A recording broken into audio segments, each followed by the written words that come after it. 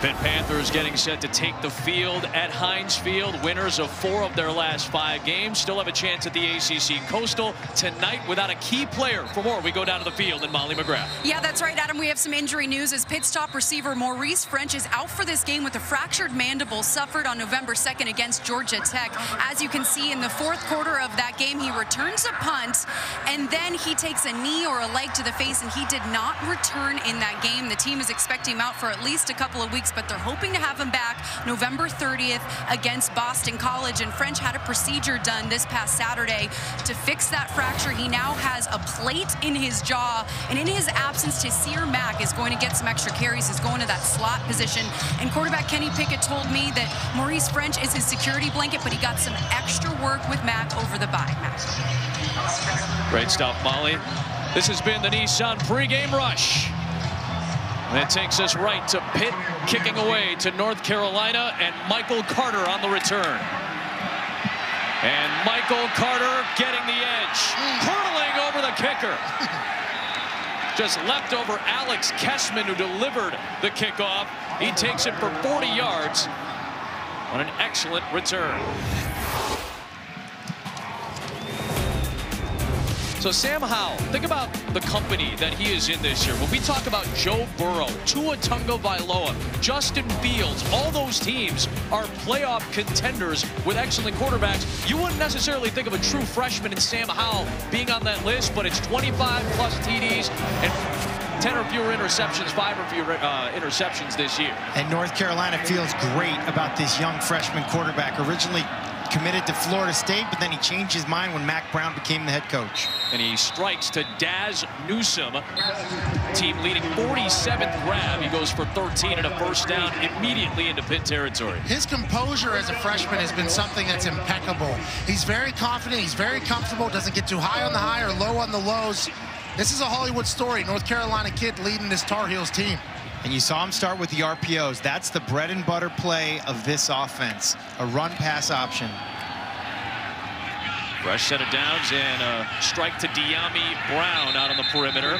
He gets wrapped up for a gain of six on the play. Look at our impact players tonight when North Carolina's got the football. No surprise, Dyami Brown is key. Taysir Mack on the other side of receiver for sure. And you saw that pass there to Brown, but it's because of last week. Three touchdowns and over 200 yards receiving last week alone. So you got to be aware where he's going to be at tonight. But again, with the run pass option, it's very tough for the Pitt defenders to decide, is it a run or is it a pass? It's actually both comes Michael Carter on the carry. Gets stopped at the 43-yard line by Deslin Alexander.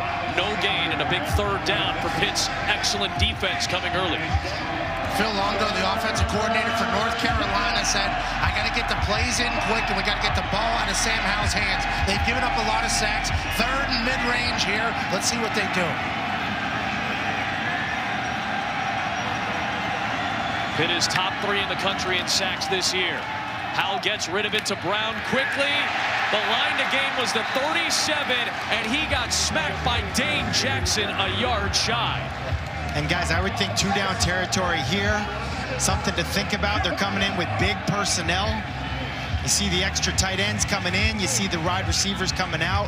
And I think just judging by that play call, Pat, you mentioned Phil Longo, offensive coordinator. When he goes with that play call like that, he probably had a plan that this was going to be two-down territory anyway. Giving baseball signals over there, Phil Longo. Fourth down in Heinz Field. Well, keep it on the ground with Antonio Williams, and the Pitt defense stands strong. Watson Alexander in the thick of it, up front for Pitt. Well, Pat, you mentioned, hey, we got to get the ball out quickly. That was the first thing he said. The second was we need to match Pitt's physicality. The D-line for Pittsburgh is the strength of their team. This time it was Watson Alexander but it's usually Twyman and Jones with them.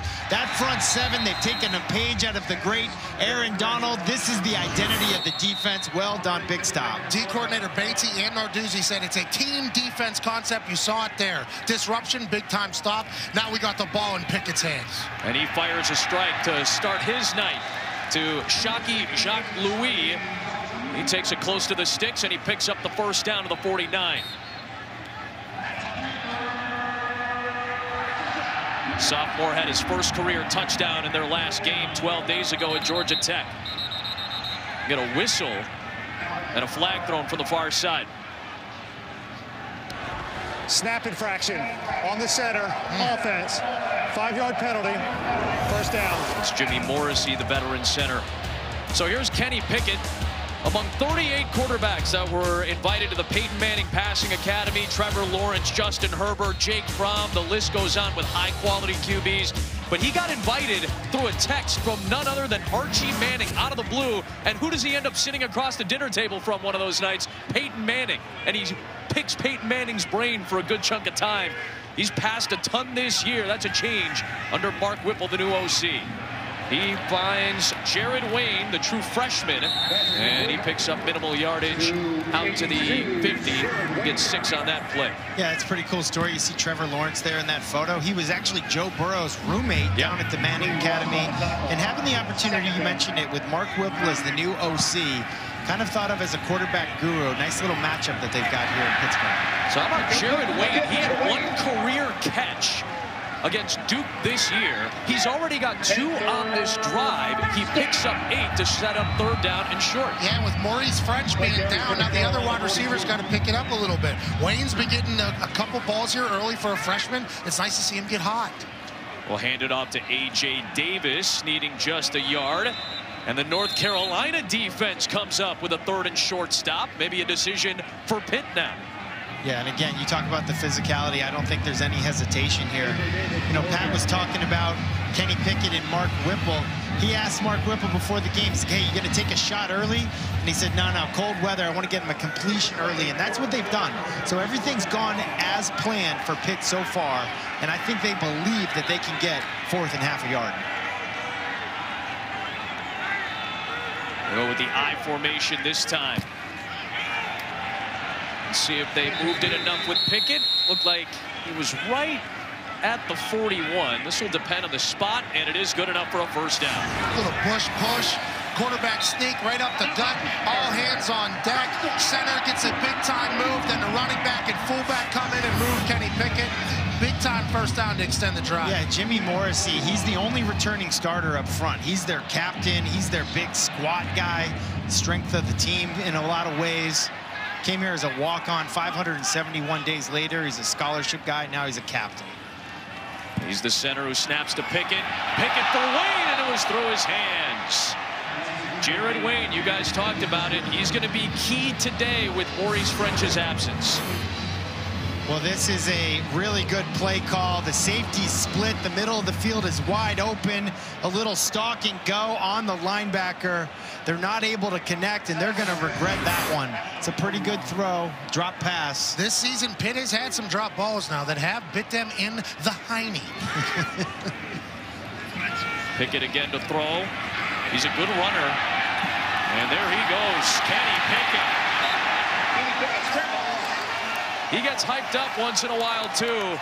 But he's tough. He can stare down a guy once or twice a game. He picks up a dozen. Well, he stares, stares down his entire progression. He goes one, two, three, four. Then he decides to tuck it and run. Good ball security. And that's what your teammates love. When you see a kind of a throwing yeah. quarterback tuck it and run, it fires them up. It certainly got this crowd going. They said he's not known as a super runner, but he's a 4-7 runner. He's an athlete right there. Big time play by Kenny Pickett. Also, when you get in somebody's grill after, that's the identity of the entire team the rest of the game. Pickett's got time, and he'll smartly get rid of the football.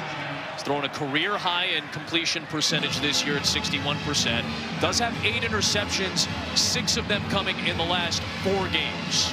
Yeah, and that you got to learn to throw the ball away. There's a fine line there. I think up in the box, though, Number six, Aaron Mathews, the wide receiver, had an inside fade and looked like they had a shot to score there. So I would expect that they come back to that play.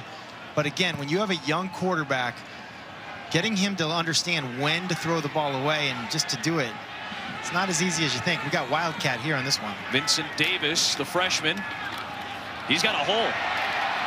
And a good run on second down to set up a manageable third. From Vincent Davis, the true freshman from Florida. Bringing in an off-balance set there to the right. Let him kind of bide a little time, find a hole, pick up a quick six. And nice know, play. The other thing that works right there, Pat, you know, you mentioned Davis, the freshman. When you come in as a wildcat running back quarterback, there's nothing to think about. The right. ball is snapped to you, and then you're hitting the hole. So it actually is a way to make it easier on a younger player if you put him in as wildcat. They've been very successful this year with that formation here. The old wildcat here for the Panthers. Get it? Because it's a cat. Pickett into traffic, and it's dropped. Incomplete. Trying to find John Bartzell, a redshirt freshman who has one career catch. Another guy who's got to step up tonight. That's two here early that seem to have gone right through the hands. And Kenny Pickett's wearing a glove tonight because it could be a little bit chillier. Narduzzi said it almost looked like he was throwing darts a little bit. Yeah, he He's been uh, accurate. Well, you know, Ben Roethlisberger wears the gloves sometimes. Mark Whipple was Ben Roethlisberger's coach. Not a surprise to see him in two gloves tonight. Happy for Alex Kessman, by the way, turning around here as of late. 41 yards in Heinz Field is no joke, though. Kicking away from the Rivers.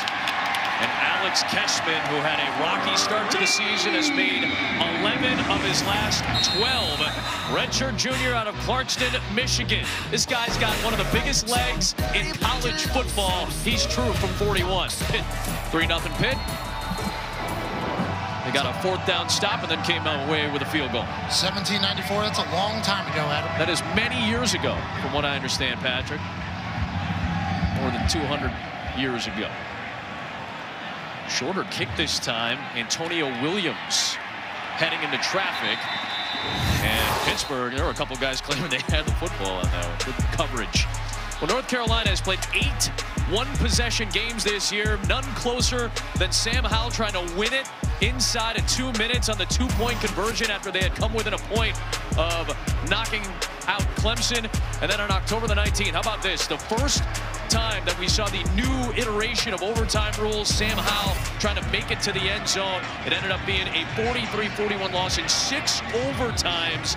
This is the most one-possession games for North Carolina through nine games since 1936. Also a long time ago. Pat. Talking to Mack Brown last night, he said he's used to winning those close games, so losing them this year has been heart-wrenching, but he knows he's got a good squad. Anytime you're in games like that, you got a good team, and that's the ACC as a whole. Nothing there for Javonte Williams. Good rally by that excellent Pitt front that you were talking about, Manny. Yeah, it's really the strength. You talk about this front seven. They don't trick you defensively. They line up basically the same defense each and every time, but they're very good at their scheme. And then they make a little slight adjustments off of splits and route combinations and formations, which side the back is on, stuff like that. Howell wanted to take a deep shot. He'll throw to Beau Corrales for a first down, though, on the near side. And it took a couple of Pitt Panthers to bring Corrales down. And then after all that, there are flags thrown from multiple angles. This was an excellent job by Sam Howell of pulling the ball down. He was looking for the deeper throw and realized, hey, now's not the time to get greedy. He's been very good at not turning the ball over this year. And instead, he comes down to a check down and gets 22 yards to Corrales. Well, offensive line gave him a lot of time there, too. Mm -hmm. That's going to hold up. That's good news for some. The results of the play is a first down. After the play was over, personal foul, late hit, number 34 defense with targeting. 15-yard penalty will be added on to the end of the run. Automatic first down. So that's a 37-yard play, play, and obviously they're going to review to see whether there was a targeting penalty. This is huge. Amir Watts at the end of the play, a key member of that front, a senior from Chicago. Targeting. Yeah, you, you got to appreciate all these fans giving you some love tonight, right? It's great to be back home for sure. Uh, anytime I get back to Pittsburgh, I get a chance to enjoy the hell out of life. I grew up in Plum, which is the East Hills here. I got a chance to donate a gym to the football team. And Amir Watts is saying thanks to the refs. I get to play a little bit longer here at Heinz Field. They did wave off the targeting. It's still a 37-yard advancement because the personal foul for a late hit is still intact but they waved the targeting penalty off. Interesting after that last look. I wonder if maybe the officials didn't get a great look on that last angle that we just saw because it looked like a helmet going into a helmet. But either way, no targeting. Amir Watts gets a stay in the game, and Javonte Williams runs it for four. That is a huge break for Pitt because that would have been a big loss. And like you said, Adam, that view right there was a little bit condemning. But uh, Amir Watts gets a second chance to stay in this game. Coach Narduzzi is going to be happy about getting one going his way there, it feels like, with the refs of the ACC. He's had some issues at various points this year, although you could probably say that about every head coach. Sam Howell off to a five for five start. He finds number five in Dazz Newsome, just shy of the line to gain. Damar Hamlin, the safety, was there. It's been an impressive start for Sam Howell here. The composure, the accuracy on the road, Heinz Field, Thursday night. Good start for the freshman. But they got to do it in short yardage situations. That's what ended their first drive.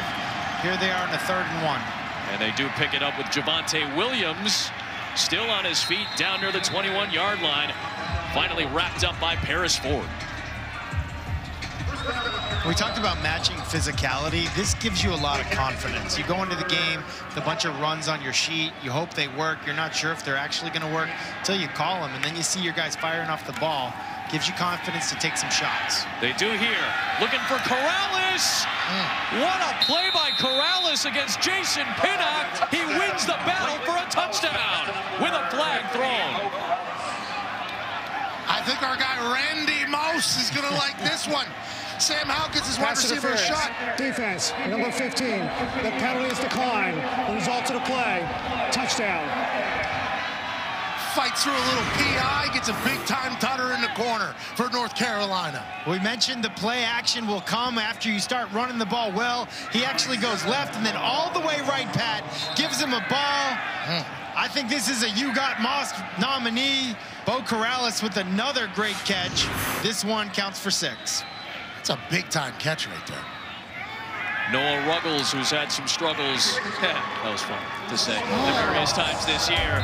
Bars. True to give North Carolina a 7-3 lead. Guys, Beau Corrales a touchdown in five of his last six games. I don't know if that was him. Well, Pat 6-4 makes it easy. Buddy Chris Berman getting set for NFL primetime. He used to call what? games when Mark Whipple what? was at Brown. How about that? That is an incredible connection for Mark Whipple, the OC of Pitt, and Chris Berman. Boomer and TJ have ESPN Plus's version of NFL Primetime Sunday night at 7.30 Eastern Time. Fair catch signal by Shocky Jacques-Louis. And out to the 25 comes Pitt. Boomer's friends with everybody. He is friends with everybody. everybody. Every coach, Andy Reid, Mike Holmgren. There's, there's your guy, Beau Corrales. Pat. I'll tell you what, I didn't know that was Beau Corrales. He's got that baby face. He's got a sleeve, and he went up there and got it. Phil Longo said he's the best contested catch guy they got on the team. Sam Howell has a lot of confidence in him. They showcased it early. I had no clue that a guy that handsome could be that vicious in the end zone. He's had big catches late in games. That key drive against Miami earlier this year. He's had huge clutch catches. And now Kenny Pickett's in a seven-to-three hole. And hours in the tattoo chair. Pickett launches. He's got a man. Taysir Mack his big play threat from a season ago.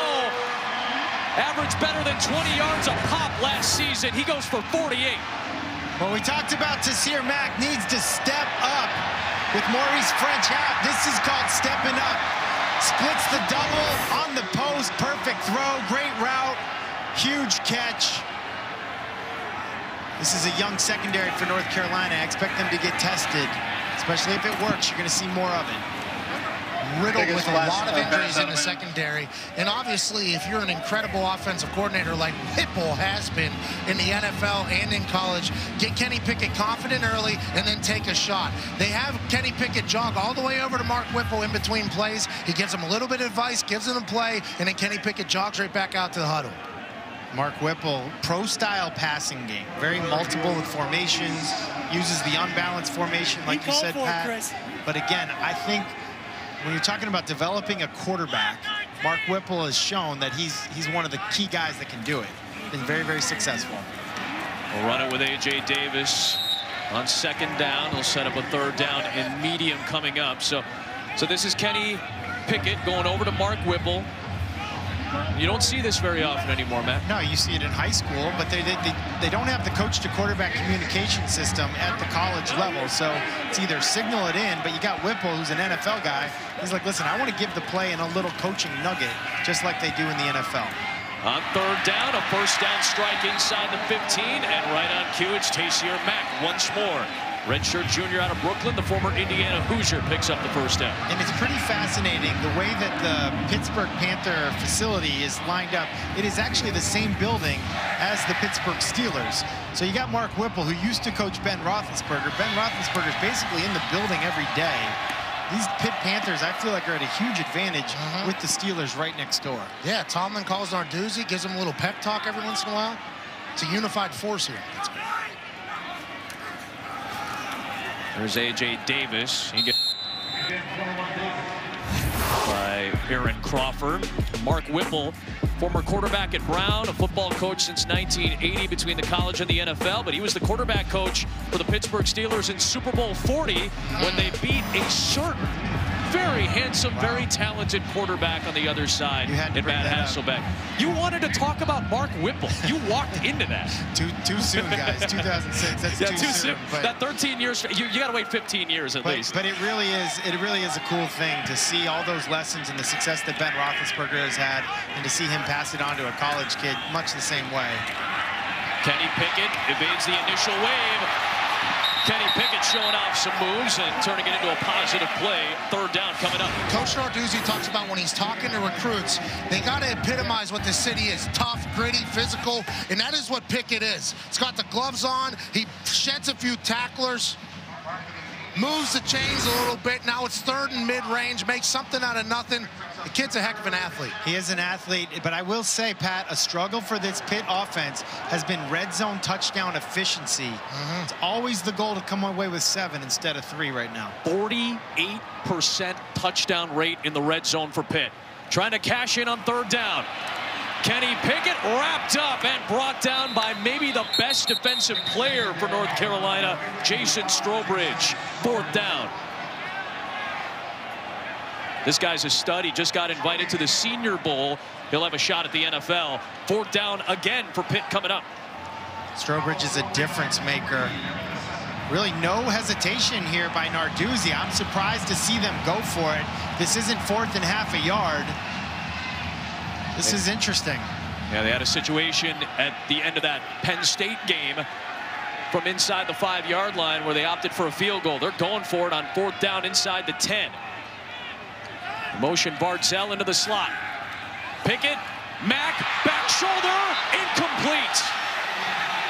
Excellent coverage by DeAndre Hollins, the redshirt freshman who's been thrust into the cornerback role in this injured secondary. Narduzzi's yelling at the ref, and he thinks he held him a little bit there. Going for it on fourth down. Pickett throws a back shoulder, goes off the shoulder pad and down.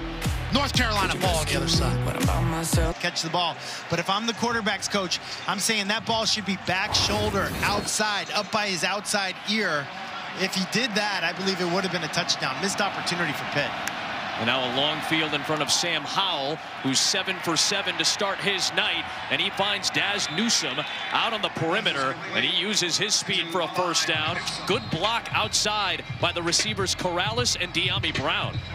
14 yards, guys.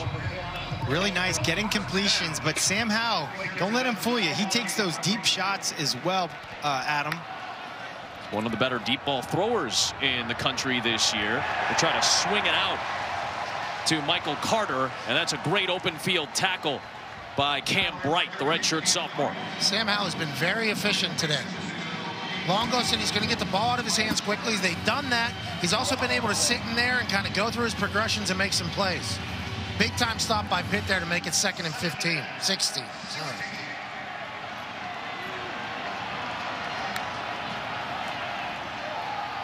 Back to the ground, and Carter gets stacked up. Leaning down Cam Bright for that tackle. Ends up being maybe a gain of a yard on the play, and it's third down and long. Hey, don't undersell the fact that they're right in front of this Pitt student section. We we thought there'd be a lot less people here. They've actually shown up for the Panthers. They're going to make some noise here on this long third down.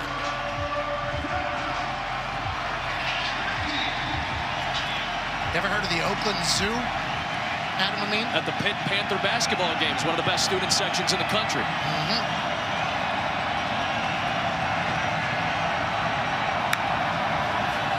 Blitz coming from Pitt. Howell hit as he throws, completes it to the tight end Carl Tucker, but he is hit shy with Damar Hamlin. That shuts down the Pitt defensive drive, and that will force a punt from the Dublin, Ireland native, the freshman Ben Kiernan, born in Dublin, grew up playing rugby, moved to Raleigh, North Carolina five years ago and started paying attention to football to North Carolina. His parents actually moved to the Research Triangle, so Ben's sister, who has cerebral palsy, could actually get better treatment. Great area of the country for medical research. Great to see the dual citizen of Ireland and America booting it away past the coverage. They'll get a friendly roll all the way. Pat McAfee likes that roll inside the 30-yard line. No yard left behind there. He's a freshman. He's going to get more consistent. But anytime you get one away when it's almost blocked is beautiful. Hey, are you excited about going to Waco for college game day? Pat McAfee and Oklahoma Baylor yeah. in a huge Big 12 showdown Saturday night on ABC. I can't wait to get back to Waco and watch Charlie Brewer and the boys of Baylor. The Sic 'em Bears hosting the Oklahoma Sooners. It's a big one for the Big 12. Trying to keep their college football playoff hopes alive. This is a tough test. Listen, Baylor's been tested. We saw him two weeks ago against West Virginia in a close game. And then a very difficult game against TCU. 20 question mark? Hmm. That's my guy right there. Good hair, good sign, good handwriting. I'm, assu I'm, assuming that's your agent, right? He's a lot younger than I thought initially. I thought you had a more experienced guy, but I like that you you you're, you know you're giving out jobs to the youth. And he's supporting the Movember movement as well. I have plants all over the place. Uh, if it's going to get me on the greatest show on television, I'm excited about that guy. Seven to three in this key clash in the Coastal. The Pitt Panthers need to win out to have a chance. North Carolina needs two out of three to get to a bowl. You know, and Mike Ditka race.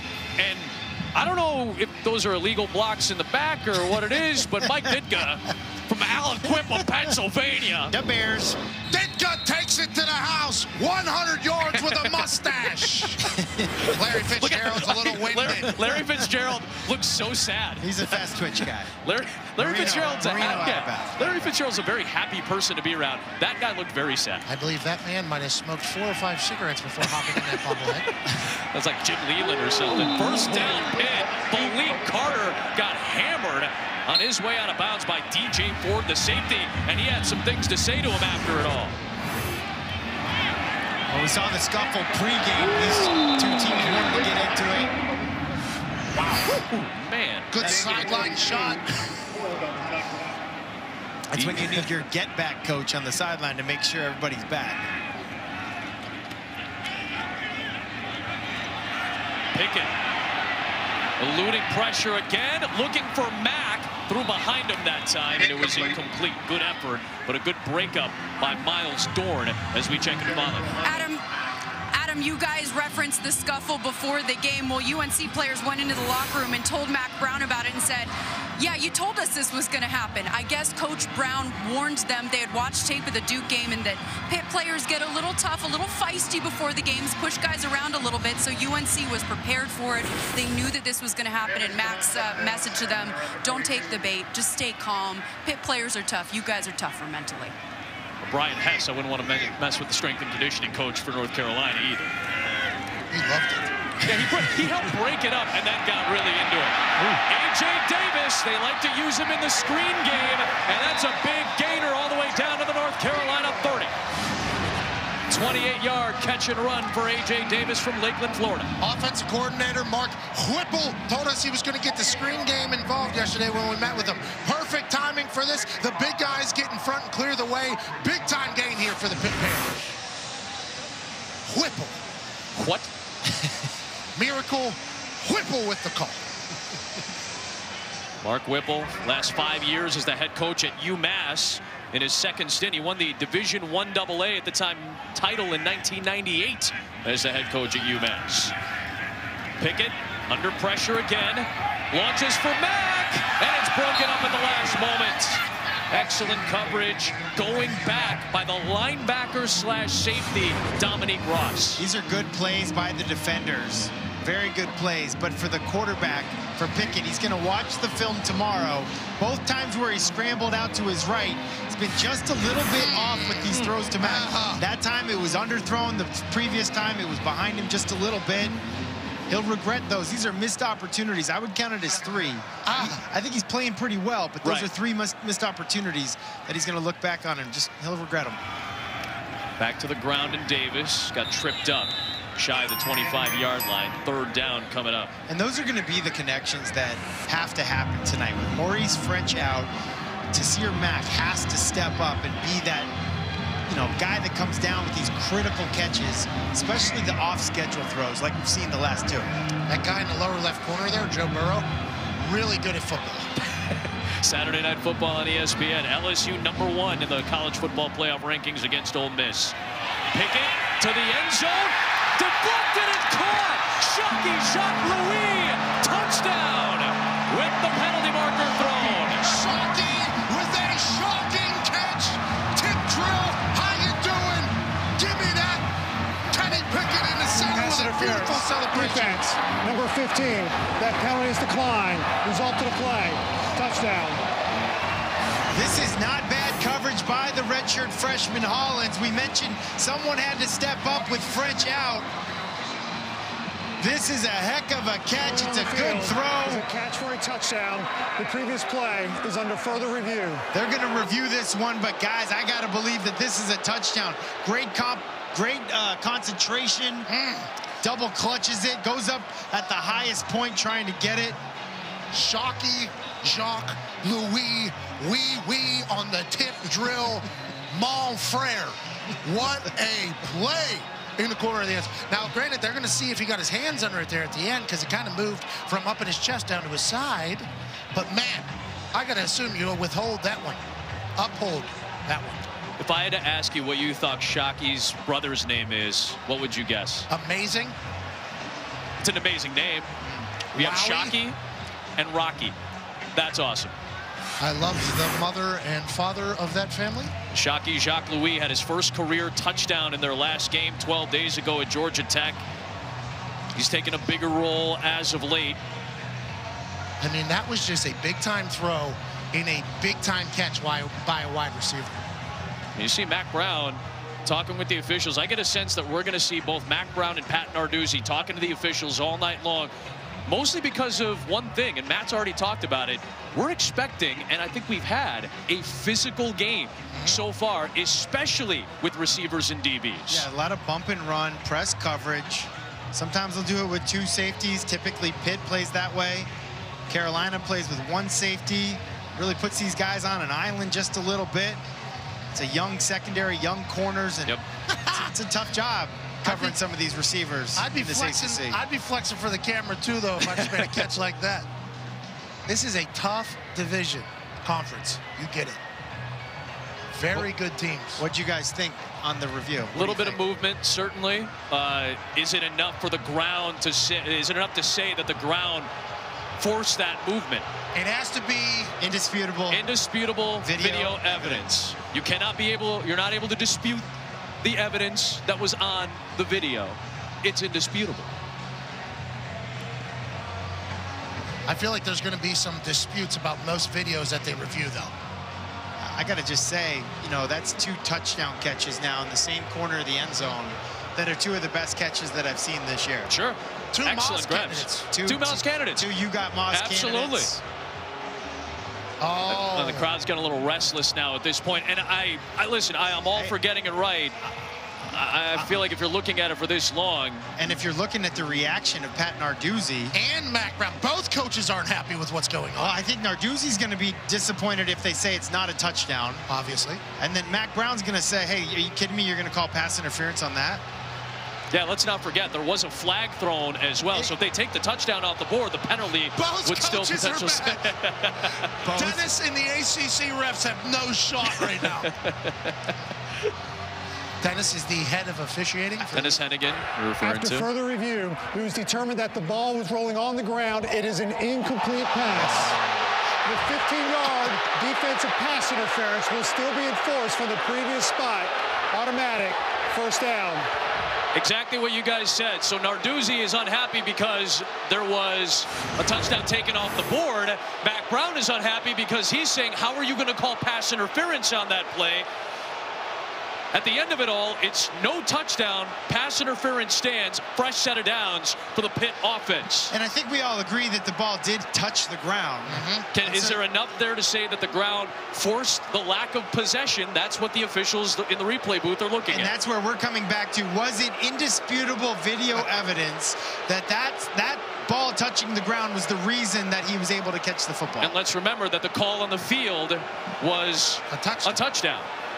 But the amazing thing is, I've watched a lot of football. I've never seen both head coaches at the exact same time curse out the official. well, it's gonna, it might be a long night for our buddy Duane Heydt and his crew tonight. And these fans are letting him have it. Absolutely. So after all that, you spot the ball after the pass interference penalty, 15 yards ahead to the 12, and it's first and 10 for Pitt. These fans, Yins are going to take a touchdown away from us because of that? Great question by the people in the crowd. I hear a lot of oi in the crowd right now. I think more than anything else. Yins can't see nothing. so now Wildcat again. They go with A.J. Davis in that spot. He'll keep it. He's got blockers, and he gets tripped up inside the 10-yard line by Myles Dorn. Picks up four, and the crowd comes right back into it in the Steel City. Well, they're not going to forget what just happened, you know? I mean, they think they have a touchdown. Instead, they got a second and six here inside the 10-yard line. And again, they're 0 for 1 uh, in the red zone tonight. We mentioned coming into this, they're ranked 114th in the red zone in terms of touchdown efficiency. How many teams are there? 130. Jeez. Pickett over the middle, and Taysir Mack able to pick it up. It's shy of the goal line, but it's good enough for a first down, and it's first and goal for Pitt. First and goal on the one. The crowd is not letting these refs forget. You got to be careful, though. They're being loud while their team's on offense. Pickett keeping it, cutting it, scoring it. Touchdown Panthers, and they jump back out in front. Little billionaire strut there, too, by Pickett at the end. I can respect everything about that. Rolls to his left, finds a hole, hits it, gets it, tells the Yinzers, don't worry about the touchdown that was called back. I got you, boys. Jacques Louis had his score taken off the board. Pickett runs it in instead. That is his first rushing touchdown of the season, the sixth of his career. Extra point from Alex Kessman. That is good to make it 10-7 in favor of Pitt. We thought Shocky still going. We thought Shocky Jacques Louis had a touchdown for a second straight game. It was taken off the board. The pass interference kept the drive alive. And Kenny Pickett cuts it. And each of the last six years while they've been ACC foes, you've got a three-point game. Kenny Pickett with the first rushing touchdown of his season in a heavy pass offense. As Pitt out in front, and Carolina comes out to the 25-yard line. A look back at our Enterprise Drive recap. And A.J. Davis trying to get this offense going fast. Yeah, it was good balance on this. It was helped with a screen and a pass interference call, but the, the wild card, sorry, the wildcat was the wild card. It gives them a chance to run the ball a little bit more effectively. They're not good at running in the end zone, but this time Pickett on the zone read is able to do so. Not a lot of rushing touchdowns for Pitt, but they'll take that one, even if it's the quarterback on the zone read. That actually can help your running game later on in the in the, uh, in the night because you have to honor the quarterback keeping it. Javonte Williams carries it here for five. The fans did boo through the commercial break, if anybody was wondering. No. Not excited about the overturn, but Pickett picked it up. And Pat Narduzzi didn't let the officials have a break. He was in their ear the entire time. First down, Javonte Williams. We immediately looked to the sideline during that commercial break, and Duane Heydt was getting it from Pat Narduzzi. I mean, you talk to Coach Narduzzi, he says, hey, there are a couple calls. If it goes a different direction, a lot of things have changed for them this season. Hey, listen, between these two teams, they played 14 one-possession games this year. A lot could have changed for both clubs. How deep shot, well overthrown. In fact, Paris Ford, the Pitt safety, was the one who got a hand on it.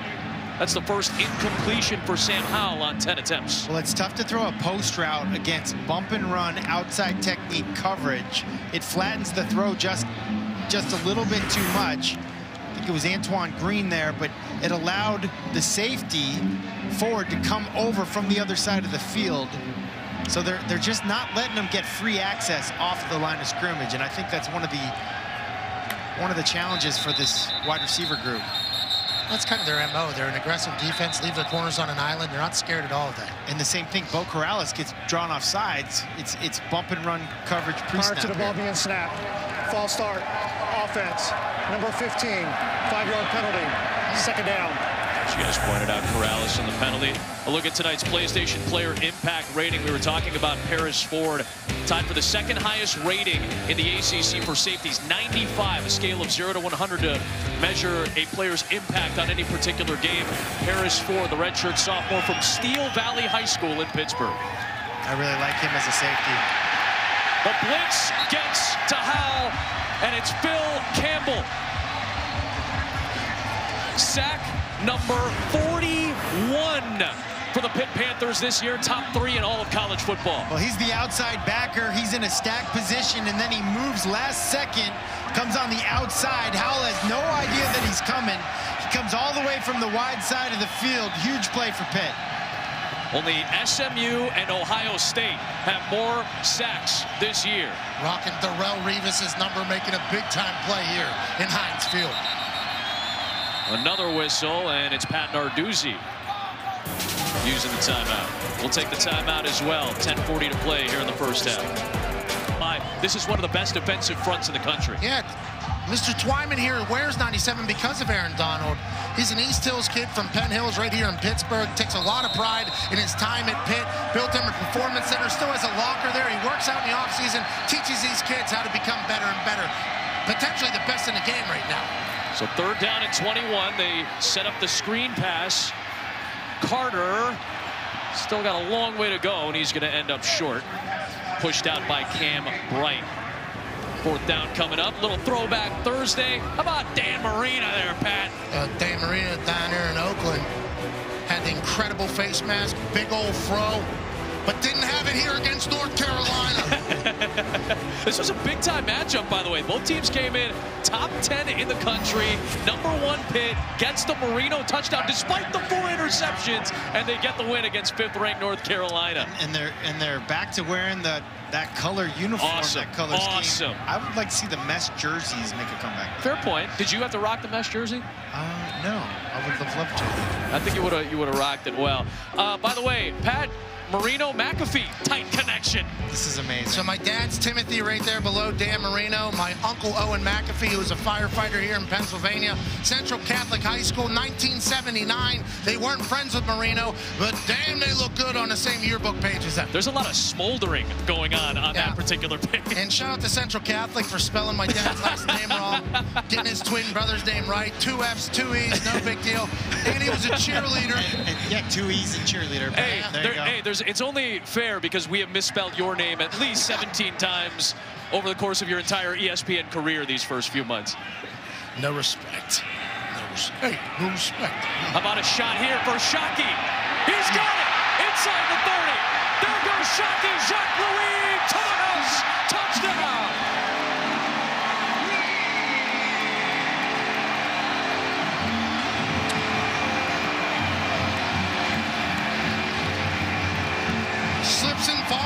at the end. Shocky Jacques Louis, brother of Rocky Jacques Louis, with a 74-yard touchdown, had one overturned the last drive, bounces right back with a dime from Kenny Pickett, and outrun. Everybody in the North Carolina Tar Heel uniform. What a throw by Kenny, what a catch, what a run, what a tutter here in Pittsburgh, Pennsylvania for 74 yards, tying the longest completion for Pitt this season. And things continue to get a little bit chippy between North Carolina and Pitt. But back-to-back -back impressive drives. You saw Maurice Ffrench grabbing Shocky Jacques Louis saying, I knew you were going to step up for me tonight. Shocky to the house for a 10-point lead been there before and get back with your teammates. So despite the touchdown, the coach is chewing Shocky Jacques Louis out, guys. Hey, act like you've been there before. He's only been there one time before, though. his first career touchdown time. came to uh, one game ago, and his second game tonight. Hey, now that's a different mindset between me and Coach Narduzzi. Swag it out, kid. You just want deep. Here comes Michael Carter on the return for North Carolina. It's wrapped up near the 25-yard line. Matt, tell me about who's slinging it tonight. It's brought to us by Sling TV. Well, Kenny Pickett is slinging it here. They go with a concept known as a deep cross. Someone's going to clear it out on a post. That's Jacques Louis. He's just clearing it out for Taysir Mack, but Kenny Pickett's first going to look at that safety on the near side. He's going to see that both safeties are flat-footed, and that's going to give him the alert to take the shot on the post, and that's why they scored a touchdown. So Mack might actually be the intended target on that clear-out play, but Pickett recognized Jacques Louis. Yeah, when you call that play, you're hoping to hit that deep cross, but before you look there to help him get open, you're going to look deep at that post and read those safeties, and if they're flat-footed, you take that shot. Well done by Pickett. Antonio Williams breaks free being chased. And he'll get brought down inside the Pitt 20-yard line by Jason Pinnock. What a run by Antonio Williams, the longest of his career at 59. Really good physical run inside. He was thought he might take it to the house. Pinnock with a great hustle play to save the touchdown, but this was right up the middle. Pat, he's their power back in that trio of running backs. They got one fast one, a power one, and then in combo, the power guy just almost took it the distance. I got a little law firm back there. The law firm of Williams, Carter, and Williams. Carter is the speediest of those three, and he takes it down to the 10-yard line. And having a committee like that, you know, situational plays can come up. I think it's actually tough for the defense to get a beat on the rhythm because each runner is so different and they go with such quick tempo that I don't think you always uh, are able to, you know, sort of figure that out pre-snap. Phil Longo did say, though, if one gets hot, he'll keep feeding them. There's Carter again. Good shiftiness, and then Paris Ford wraps him up, stacks him up. The forward progress will give him a couple on the play, and it's third down and short coming up. And Paris Ford, you guys mentioned him as the PlayStation player. He's got great instincts, very emotional player, Great tackle right there. Randy Bates told me week one, sometimes Paris Ford is too wired up. Sometimes his eyes get a little wandering because he's so wired up, but he's one of the best playmakers we have. But it's all right because his partner in crime there, back there, Hamlin, he's calm, he's very smart. You know, you can complement each other well, and I think these safeties do. Third down and two. Big shift in emotion here for North Carolina. How? Under pressure, launches it dangerously up the sideline, and it is incomplete. Looking for Dyami Brown in desperation with a bunch of blue jersey Panthers out there. He had a guy wide open, too, and the guy stumbled right at the goal line, so he had to go to another option. Coming out, it's, it's Tucker Pat, the tight end. They go with what Jon Gruden might call spider left banana. right. and uh, the tight end just falls down, so Howell has to do something else with the ball. Fortunate the ball wasn't picked off, but they're going to kick themselves tomorrow. They're going to look at that play and say, wow, we had a touchdown. Yeah, Mr. Tucker is going to regret that stumble. Noah Ruggles has been good inside of 40 this year. This from 25. And North Carolina does come away with points to make it a one-possession game. Commonplace for these two teams. History here in Pennsylvania. This season, Taco Bell is celebrating student sections and passionate fans like these by awarding the Live Más Student Section of the Year. Pitt Panther Student Section showed up tonight, already in the national watch list, espn.com slash Taco Bell, to see how your school can compete or get the committee's attention by using hashtag Live Más Student Section contest. We've honored some great ones here. The late Bill Fralic got honored on opening night here in Pittsburgh. Great city for football. Here comes Shockey Jacques Louis. Got shoot out by Pat Narduzzi after his touchdown. Not much of a return there as he gets hit at the 17-yard line by Don Chapman. Well, guys, you know Sunday NFL Countdown, your favorite show at 10 a.m. I'll be there with Samantha Ponder, Randy Moss, Rex Ryan, Tedy Bruschi. Got a nice matchup this week in the NFL. Lamar Jackson taking on Deshaun Watson. Plus, we got Tom Brady, Drew Brees, Russell Wilson talk about quarterback grips, how you ah. hold the football. Should be ah. an educational thing. And how about this? Our Week 11 Monday Night Football matchup is at Estadio Azteca in Mexico City. No clue if I pronounced that correctly. No, you did good, but Pat. Patrick Mahomes and the AFC West leading Chiefs take on Philip Rivers and the hot Chargers. KC has won eight of the last nine against the Chargers dating back to 2014. 8 Eastern, 5 Pacific on ESPN, ESPN Deportes, and the ESPN app. Our coverage begins with Monday Night Countdown at Cease. I've actually been down there at uh, Stadia, Stadium uh, Azteca there. Did you turn right around and go back? No, that, that was a different year. Oh, but gotcha. They've got a moat around the field so that the fans can't get at the soccer players. It's pretty fascinating. Kenny Pickett starts this drive from the 17-yard line, takes off running, and the flag does come flying in with some impressive velocity from the side judge, by the way. Looked like Chaz Surratt, first time we've mentioned one of the top tacklers in the ACC, may have gotten in there a little late on Kenny Pickett.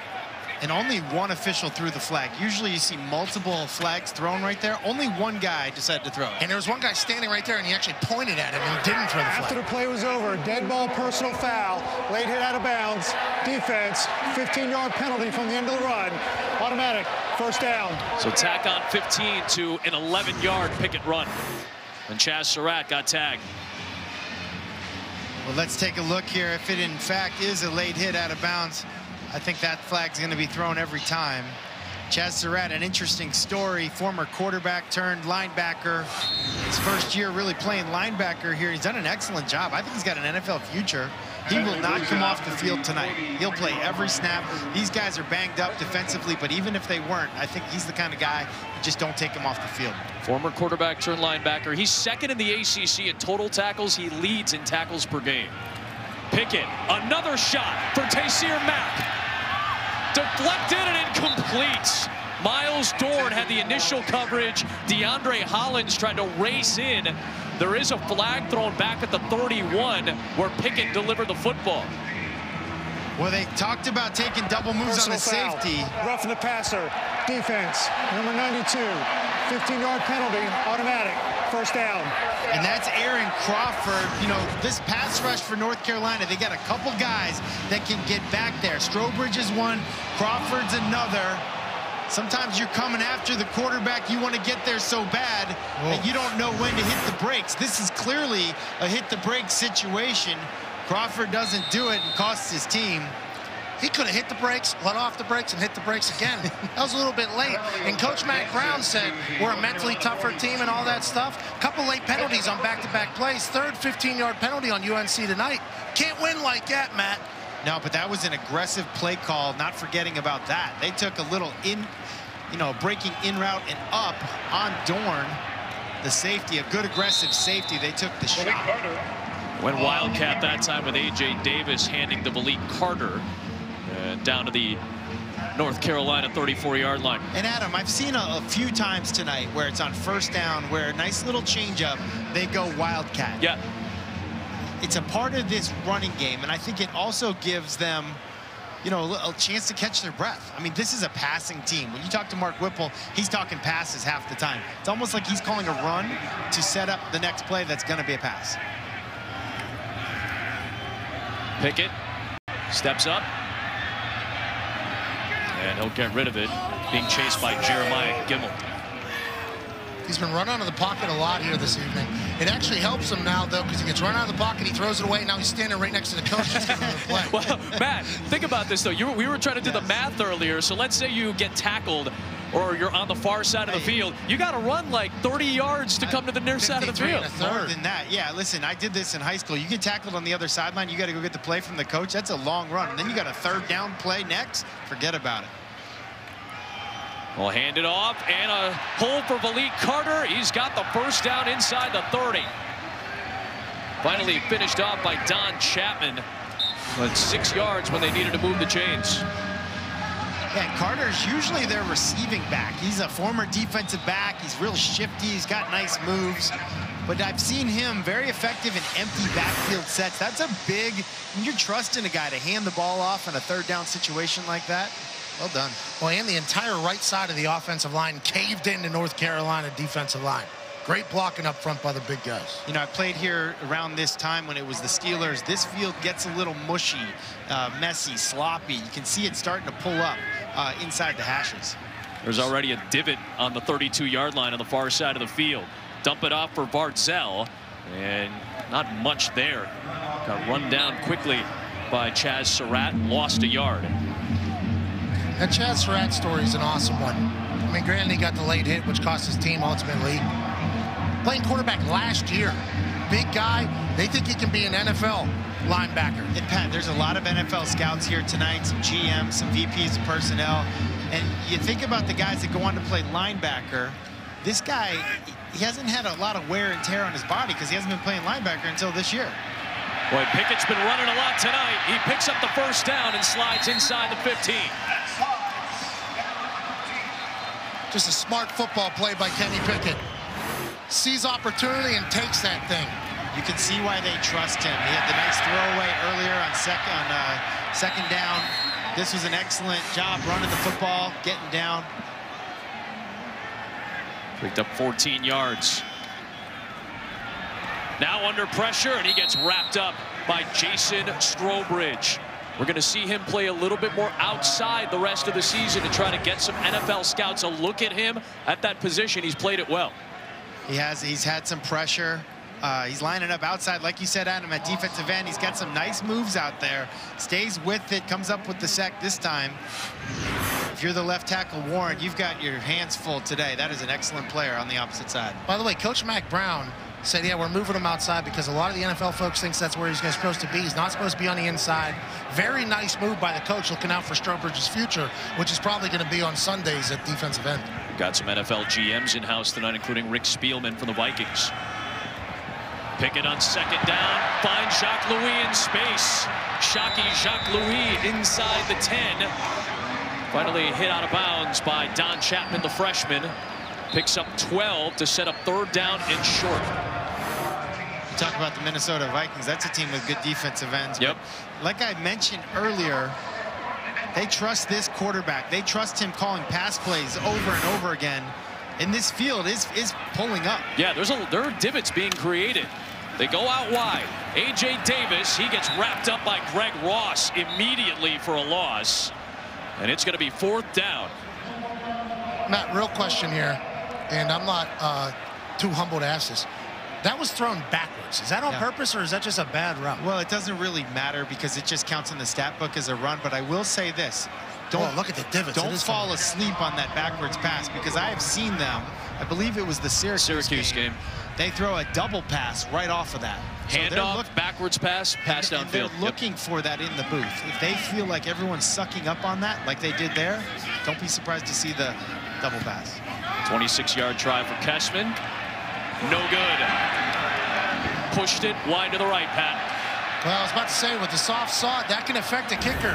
Your plant foot might slide a little bit. You might push it. I don't know if that's what happened with Kessman. Normally, very good kicker. Misses a short one. I've done this before here. That's tough. This drive from the 20 and nowhere to go for Michael Carter as he gets wrapped up by Tyler Bentley.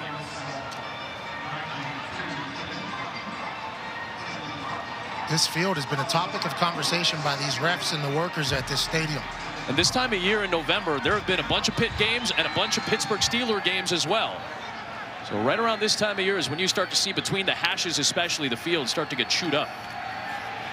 How back foot throw, under pressure into a lot of traffic, and it looked like it came out loose at the end of the play. Boy, Michael Carter somehow with four defenders around him almost came up with that very dangerous pass. Russell Wilson threw that little soft floater on Monday night. It almost looked like that, but it was a fadeaway right into quadruple coverage. You thought it looked like that. I thought someone was going to call for a fair catch. this was kind of a specialty play where you get the running back down the middle. A shot play, if you will. Pitt was not fooled. And it looked like he may have had possession, but referees ruled that he did not keep possession through the ground. Howell. On the move, he connects. That's a first down across the 30 for Beau Corrales. And this is clinic tape by the quarterback and wide receiver. Howell pulls the ball down. He's getting blitzed. He has pressure in the pocket. He breaks contain, and Corrales moves with him. Well done. Howell. Newsome breaks a tackle. He's inside the 50 and finally chopped down in Pitt territory as we check in with Matt Barrie. All right, guys, coming up in the Mazda halftime report, why is Bo Nix a key to an Auburn win on Saturday? Plus, how does Baylor stand defeated against Oklahoma? And Joey Galloway is literally going to predict the future. That more coming up in the Mazda halftime report. Great stuff, boys. We'll talk to you soon. Minute 20 left. Dyami Brown, he got tripped up going the other way by Dane Jackson. Picks up eight to the 35-yard line. North Carolina has all three of its timeouts as we approach a minute to go. Mack Brown talked about last five, first five. Sam Howell's been very accurate here down the stretch. Will swing it out. Carter dropped it. Ruled as an incomplete forward pass. And that'll stop the clock with 53 seconds remaining here in the first half. Don't forget that Pitt will get the ball to start the second half. And that's the thing with you guys mentioning these sideways passes. Is it a forward pass? Is it a backward pass? I believe that's a forward pass.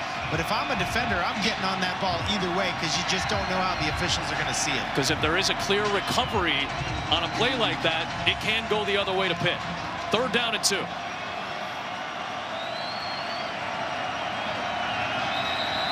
Timeout. And Pat Narduzzi will use his second timeout here. We're back in at 30th Atlantic Division. Pat Narduzzi's team lost to Clemson in the ACC title game a year ago. They're still alive for the Coastal Division if they win out and they get some help on Black Friday from Virginia Tech.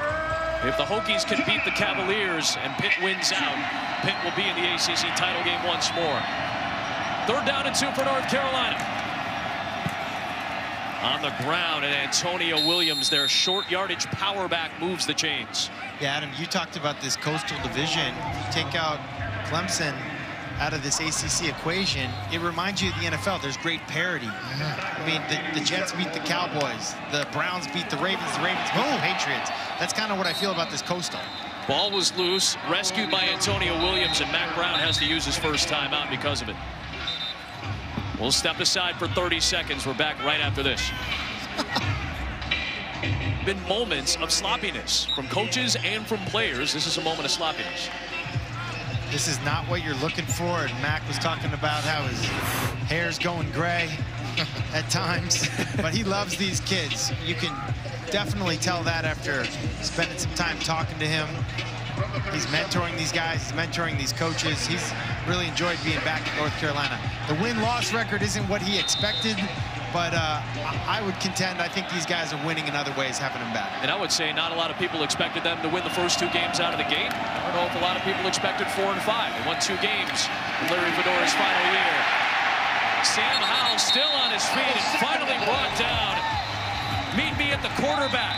Habakkuk Baldonado from Italy and Jalen Twyman meet up at the QB. And North Carolina has to use a second timeout. Pitt has now tied SMU, a team we saw get nine or uh, seven sacks, beg your pardon, against Houston a few weeks back. Pitt's got 42 to equal the Mustangs most in the country. Yeah, and it was really impressive talking to defensive coordinator Randy Bates about the sacks. Like, how are you guys so good at sacks? And he's like, sacks aren't the thing. I'm not focused on sacks. I'm focused on technique, effort, assignments. But it's because you're focused on those things that you're getting all these sacks. Hey, this is Taylor, another great opportunity, Pat. Taylor Twyman's about to run through a human right now. Panthers pin their ears back. Howell over the middle, diving catch. It is complete with a flag thrown. What an effort by Dazz Newsome. The ball came out loose. Damar Hamlin started running with it, but a penalty marker was thrown. After all that, if it's a completion, that might get him back into field goal range potentially. And now the crowd is going to enter the fray and let their voices be heard.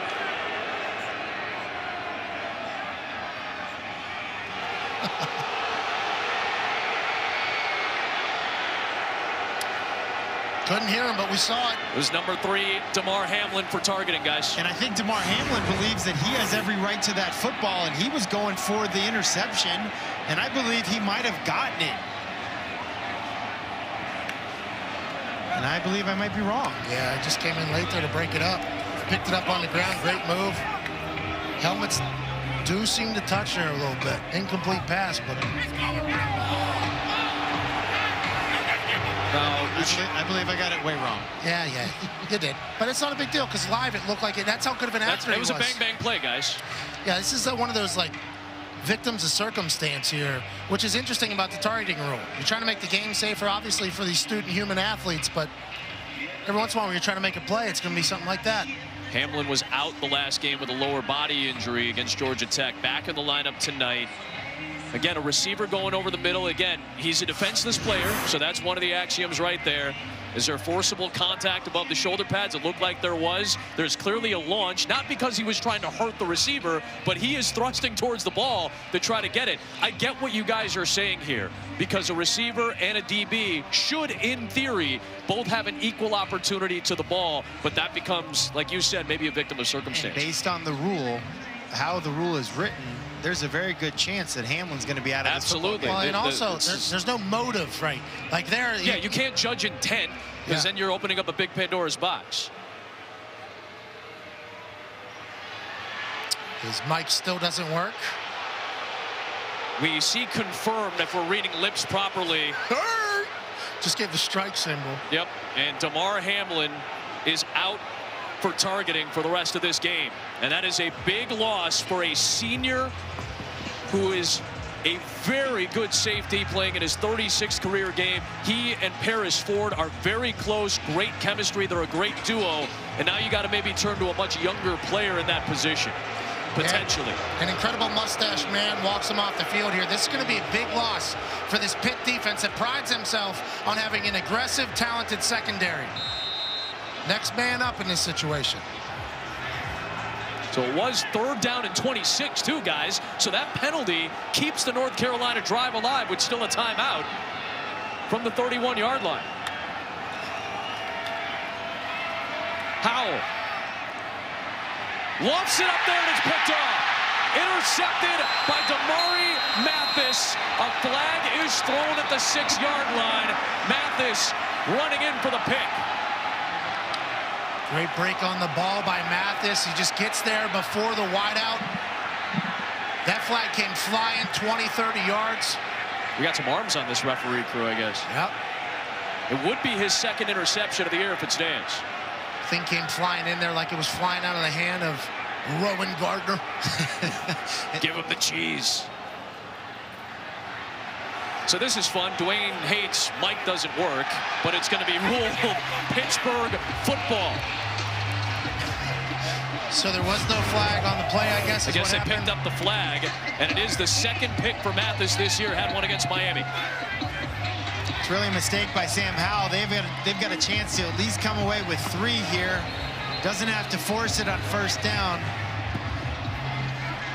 But he forces it. This is a cover three. That corner is midpointing, meaning he's covering the guy on the outside, but he's got his eyes inside, so he can kind of two and two on one it.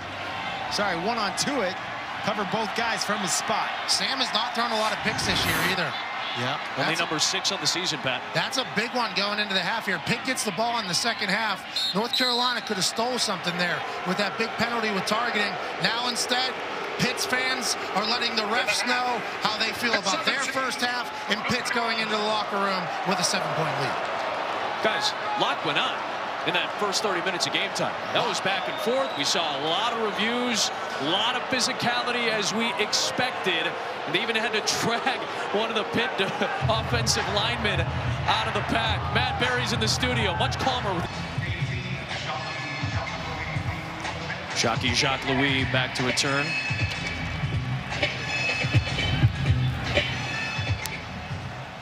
And it'll be a touchback Pitt to the 25-yard line as we get a look at tonight's game flow brought to us by Progressive. Started with babyface Beau Corrales getting North Carolina in front. Well, Pat couldn't believe that that's what Beau Corrales looked like because that looked like Randy Moss at wide receiver. Both receive, both sets of receivers were coming down with plays. That one was called back, said the ball hit the ground, but Pickett said, so what? I'm going to take it in on the zone read, gets the touchdown for the red zone score. A lot of fireworks, like you said, Pat. Here's the post. What's this guy's name again? Shocky, Shock, Louis. I love how you say it. And then we talked about the brain dead play at the end there by Sam Howell. He had had a perfect half going, throws the interception there. Can't happen. Pickett connects. He's got a man. And right away into North Carolina territory goes Aaron Mathews. Kenny Pickett has had a heck of an evening here in Heinz Field. Drops back, first play of the second half, gets comfortable, composed, and then drops one in a bucket for a big first down. And you heard Mark Whipple yesterday talking about Rattler. That's the Rattler right there. A guy runs a post on the outside, the inside guy runs a corner, wide open. 30-yard completion sets him up at the 45. Pickett to the sideline, and he's able to find his tight end, Will Gragg. Molly? Well, Adam, at halftime, Mack Brown was extremely frustrated with the chippiness and constant fighting in this game. His message to his players is just shut your mouth and just play. And then on the mm. other side of things, Pat Narduzzi told me he loves the physicality and chippiness, saying this is our house. I want our guys fighting and showing their toughness. He's really, really happy with his quarterback's play, saying Kenny Pickett is playing lights out, but he wants his wide receivers to step up, grow up, and execute better in the second half, especially without Maurice Ffrench. Again, Maurice Ffrench, 75 receptions on the season. Broken mandible against Georgia Tech 12 days ago, hoping to have him back late in the year. We'll run it with A.J. Davis here. Trying to stretch it to the left, and it's going to be ruled down at the 39-yard line. Good job getting on top of it by Nakia Griffin-Stewart, the tight end. What do we say? About 90 minutes before kickoff, these two teams were getting after it. The physicality continues mm. as Aaron Crawford looked like he nearly stripped the ball first, and Griffin-Stewart saved it. And Pat Narduzzi said turnovers have been a problem in the last two games. They had six. Zero so far. They dodged the bullet on that one, though. Third down and four. Quick pop and deflected incomplete. Had a couple of receivers in the area, both Shocky Jacques Louis and Taysir Mack, and neither could get a hold of it. It's fourth down. Well, he thinks he's hot, which he, I understand what he sees, but Chazz Surratt is right there in coverage. He's fortunate, fortunate that that ball wasn't picked off.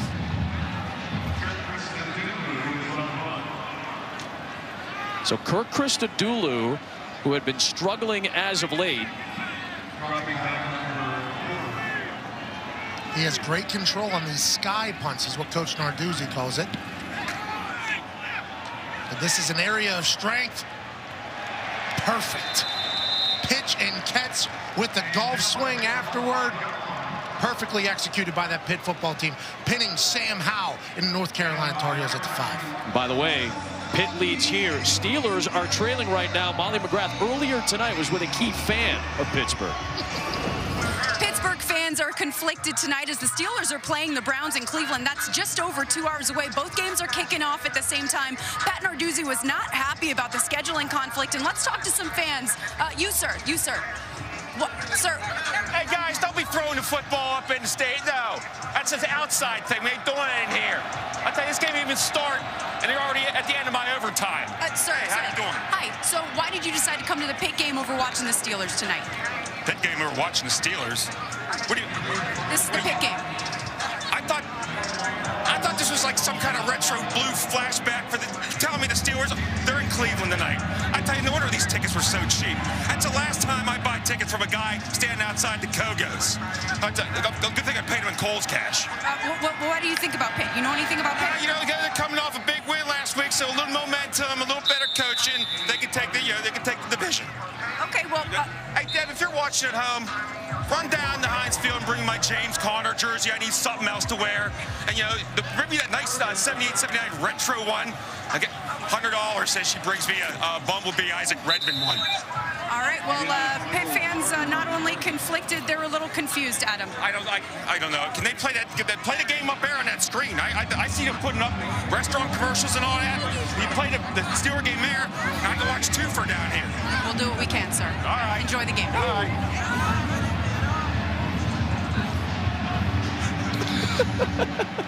That felt very Pittsburgh to me in that moment, Pat. How, on a scale of 1 to 10, how Pittsburgh was that moment? Oh, that guy's a super yinzer, man. Antonio Williams gets brought down. Third down coming up here. Can you give me a little bit of context for anyone who, who is as confused as these Midwest folks are like myself? That human right there is a living legend in Pittsburgh. Pittsburgh dad. He obviously thought he was coming to the Steeler game. Got cheap tickets, probably off SeatGeek. Now here he is in Heinz Field at a Pitt game. And it's been a conflict of interest here with the Steelers and Pitt Panthers playing at the same time in Pittsburgh. Narduzzi's not happy about it. Steelers fans aren't happy they're losing to the Browns. It's a big Thursday in Pittsburgh football. On third and four. Trying to lunge ahead, Garrett Walston. It's close to the sticks. The line to game was the 28, and they gave it to him. Able to muscle ahead, the junior out of Wilmington, North Carolina for a first down. This is just a triple slant concept, reading it inside out. Well done by Pickett, or sorry, sorry, with Howell. Both quarterbacks having a good night so far tonight. Looks like the forward progress caught it prior. Had a shot downfield, trying to connect with Dazz Newsome. Second down. And just as I say that, another missed opportunity. That one would have been huge, probably six. Dazz Newsome, they said they wanted to get him one-on-one -on -one with a safety if possible. Here he is running right down the middle of the field. Sam Howell has been a second half performer. Second half in OT this year, 14 touchdowns, two interceptions. That's second most touchdowns in all of college football. This freshman shows up in the second half, missed one there, though. And Patty's done it with big plays as well. These aren't dink and dunk touchdowns. He's chucking them down the field. It's been a hallmark of this offense this year. Antonio Williams powers ahead, and he's got the first down. A lot of contact there as he got upended by Jazzee Stocker. He's going to play a key role as a safety with Damar Hamlin out for targeting. He got upended at the end, but he's a bruiser. He's a physical runner. We've seen this a few times tonight, and I feel like what they probably talked about at the half at halftime was coming out and running the ball some. They did it early, and here's another shot. Looking for Dyami Brown.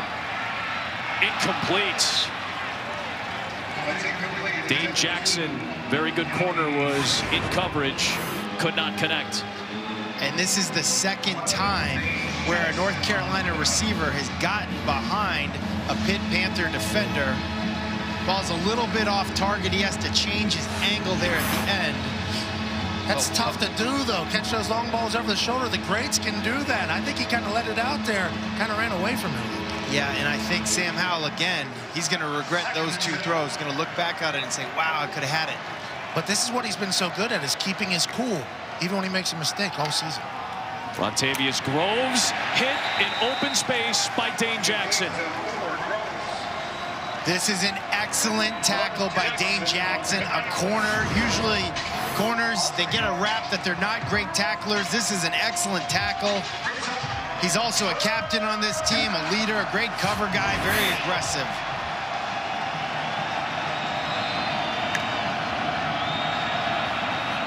Free play.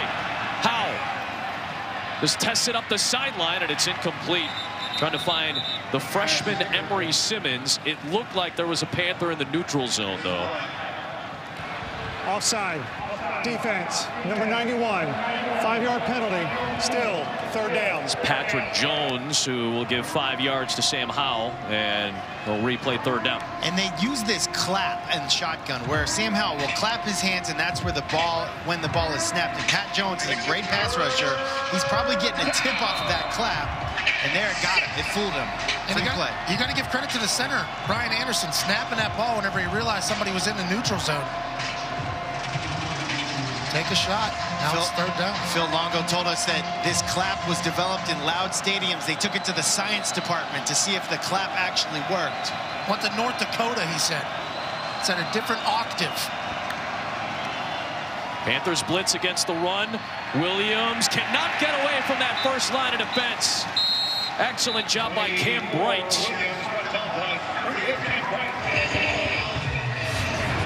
Cleveland native playing for Pitt. Adam, you said it against the blitz. Sometimes with a gap scheme, meaning a pulling guard, you can split that blitz. They're blitzing because they think it's a pass.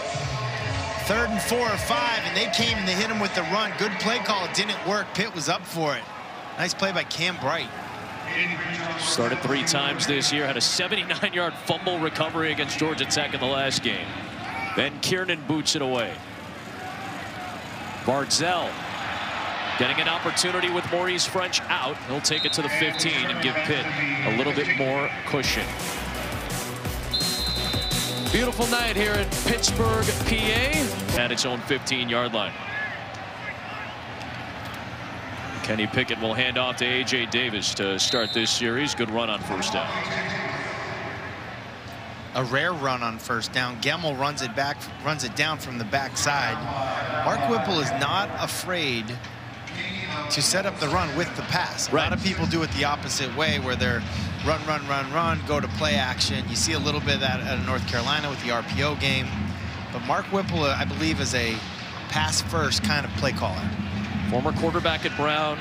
He's been a football coach between college and the NFL since 1980. Took over for Shawn Watson, who's now an assistant at Georgia. A Little jet sweep here. And a first down for Shocky Jacques Louis. A couple of runs that get him across the 30. And it was the shift in the motion before this play. This is a very simple play for Pitt, but because they had the shift in the motion, the defense is on their heels and they're thinking, and Pitt's just going fast. Will throw here, low throw, incomplete. Trying to find Will Gragg. This is what you were talking about, Matt. They went from 111th in Pat Narduzzi's first four years in pass attempts per game to go into top 10 with Mark Whipple coming in for his first season. Very pass heavy compared to where they've been in years past. A lot more play action as well. No doubt. In Pat Narduzzi, we were asking him some questions about the offense, and he almost seemed like, eh, I leave that to those guys. You know, let's talk defense. Yep. Let's talk special teams. A.J. Davis keeps his feet for the first down. Excellent maneuvering. Looked like there may have been a penalty marker thrown, though, on the play on the near side at the 36. Holding. Offense. Number 67. 10-yard penalty. First down. So that's Jimmy Morrissey, the one veteran on this offensive line that came back from a Joe Moore Award semifinalist line last year. He's right in the middle of the screen. Tries to get the guy, grabs him by the collar, it seems like. Whips him back, gets the call. Now, that's the first holding penalty called on a UNC opponent, I think since week two, week three. According to Mack Brown, at least, I, I, I will say we did not have an opportunity to go all the way back and decipher every penalty that's been called against a North Carolina opponent. If you ask Mack Brown, he said that's the first holding penalty called against one of our opponents since week three.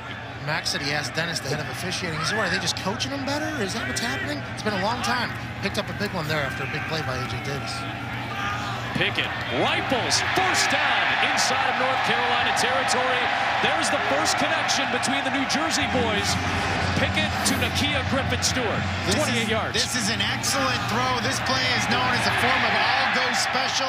Somebody shallow cross. That means the three guys on the right, they're switch releasing it, but they're all going deep. They're just running seam routes and outside go routes. Well done, like Pickett.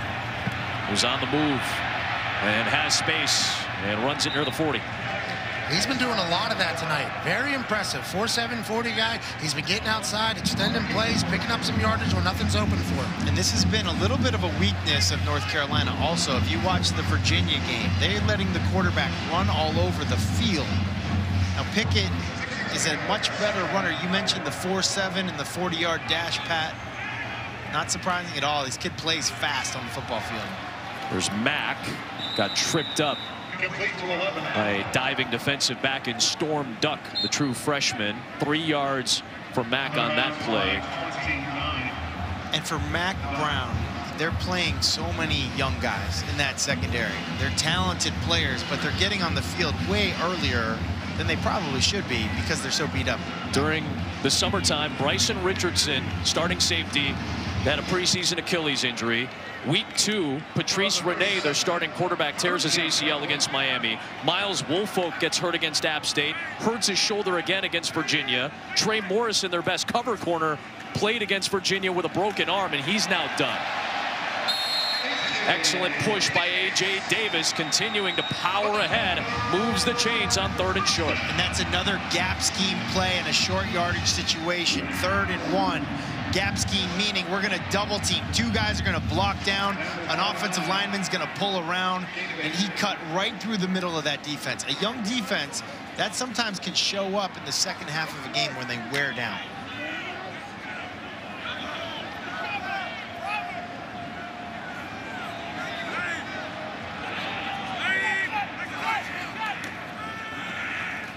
Pickett towards the end zone. Deflected and incomplete.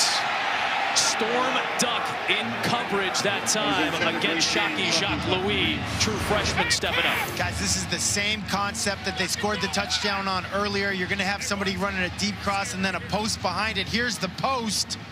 The ball's not really led. It's kind of thrown right, right at the receiver. Allows Storm Duck to get involved in that.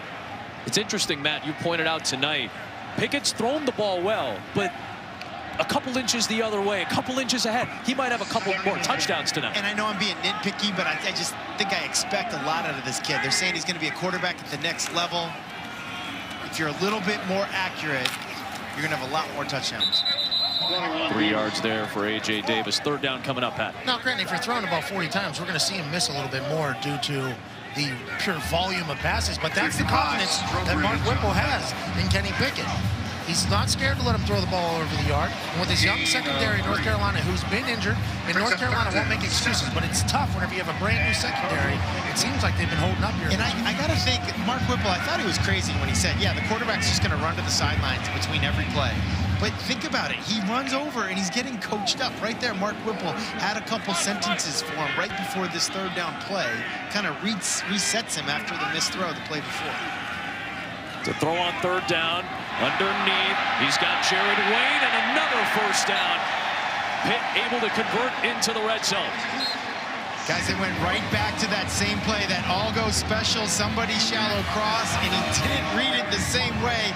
I, am not trying to be nitpicky here, but he had a walk-in touchdown if he would have kept his eyes downfield instead of thinking first down. But, again, first down, new set of downs, and you'll get a chance to throw a touchdown here. But, wow. I thought he bounced back, hit a good guy in stride there, missed a touchdown, a missed opportunity. But that's a mental toughness of Kenny Pickett. Going to need it if he is going to play at the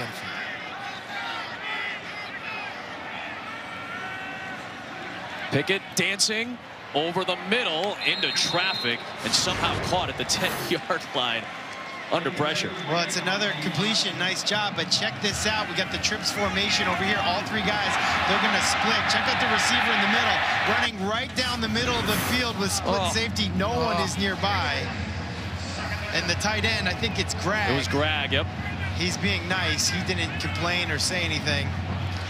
Tight ends are usually nicer than receivers. Receivers will come back all upset. Tight ends, you know, a little more humble. Pickett lines up wide. You see his numbers tonight. A.J. Davis in the cat. Running right. He's steering inside the 10. Line to gain is the six, and it looked like he's going to be stopped maybe a yard shy. Third down and short coming up for the Panthers inside of three to play in the third really use this Wildcat as a weapon for them. Kind of keep the defense on their heels a little bit. We throw the ball a lot. We bring in Wildcat. We can run the power offense. It's a very well-balanced offense, even though they throw the ball so much. And for Pickett, he was just the wide receiver on the far side of the field. Came all the way down to the near side. and one-third yards over to the sideline. Now he runs back to the right hash. It's third and two. If he's got a scramble right now, he might be gassed.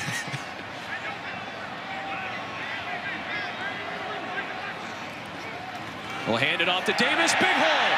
A.J. Davis. Touchdown Panthers.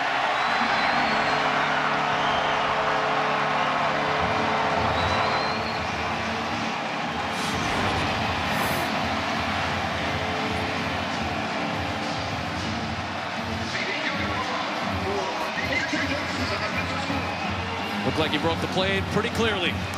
Saw Jacques Louis blocking down there. He's had a couple explosive plays, but knows that rushing is a team game. Offensive line opens that thing wide open, and then people blocking at the next level. Good touchdown for A.J. Davis. On a really good 14-play drive, spanning 85 yards in six and a half minutes. Kessman gives Pitt a 14-point lead. How about this? Pitt on the ground, getting some rushing touchdowns tonight. Pickett with one, Davis now to put him up 14. They started booing you Yeah. in Nashville, Tennessee. Yeah, my first time ever in the stadium, I won the punt, pass, and kick. I know I'm not sure I would have beat Andy Reid, but then I got to go to the national championship down in Tennessee, and the Steelers just so happened to be playing. I got booed by 65,000 strong after saying hi to my mom at the age of 15. Little mental toughness there early. Michael Carter with the return out to the 26. When we come back, we're going to show you one more Pat McAfee moment. In this particular play, one of damn Espy. He somehow juked 12 people, and one of them just so happened to be me with a miss right there. Oh, look at that. I love the look. Very I'm staring at a man that's going to go make over $100 million in the NFL. Embarrass me in front of my friends and family at Heinz Field. I think we got the win, though. Hmm, 124 million to be exact. I did not he make was that. he was ready for with the research right there. RPO a little too tall for Antoine Green on the pass from Howell, and it's second down. There's something to be said, though, about this Pitt team and tradition. Darrelle Revis, one of the best players of all time, Pittsburgh guy. Aaron Donald, one of the best players of all time, Pittsburgh guy. Dan Marino, one of the best players of all time, Pittsburgh guy. This city loves their team, and they also love whenever players drop passes that are potentially touchdowns. like in that particular case. Which that was.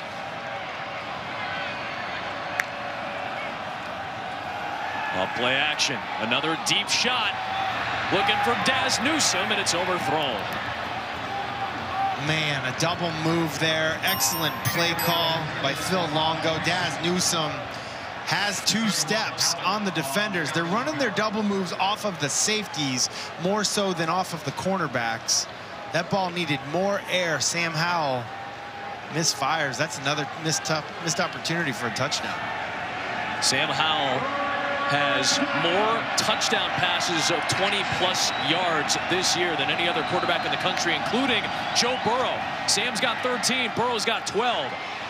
He finds a man in Rontavius Groves over the middle, and that second effort by Groves gets them to the line to gain. And that is an impressive catch by Toe Groves. That is over the middle, no fear, fighting for that extra yard to get the first down. Impressive, and that's what they need. They need someone to step up and make a play right now. Finding a hole, Antonio Williams. He's bursted for some big runs tonight. He picks up 11 for a first down. He's their bruiser, their power back, their big guy. He's been finding that second, third level there, getting through. Big time runs from him, Mr. Antonio Williams. He looks like he might be limping just a little bit. Give it right back to the former Ohio State Buckeye. And a solid run up to the 46. Paris Ford chopped them down. This is the second year for Antonio Williams in North Carolina after coming over from Ohio State. How do they feel about Ohio State and Pittsburgh, Pat? You know, I don't really think Big Ten, ACC, Big East. I mean, Pennsylvania, Ohio, always a rivalry. I don't know if Pittsburgh absolutely hates it. I was curious about that. Little toss to Dyami Brown, first down inside the 35, and a late penalty marker thrown from the lead official Duane Heydt for the offensive backfield. Personal foul. Illegal block below the waist. Number 68. Offense. 15-yard penalty. Still second down. That's the center, Brian Anderson, called for the illegal block below the waist.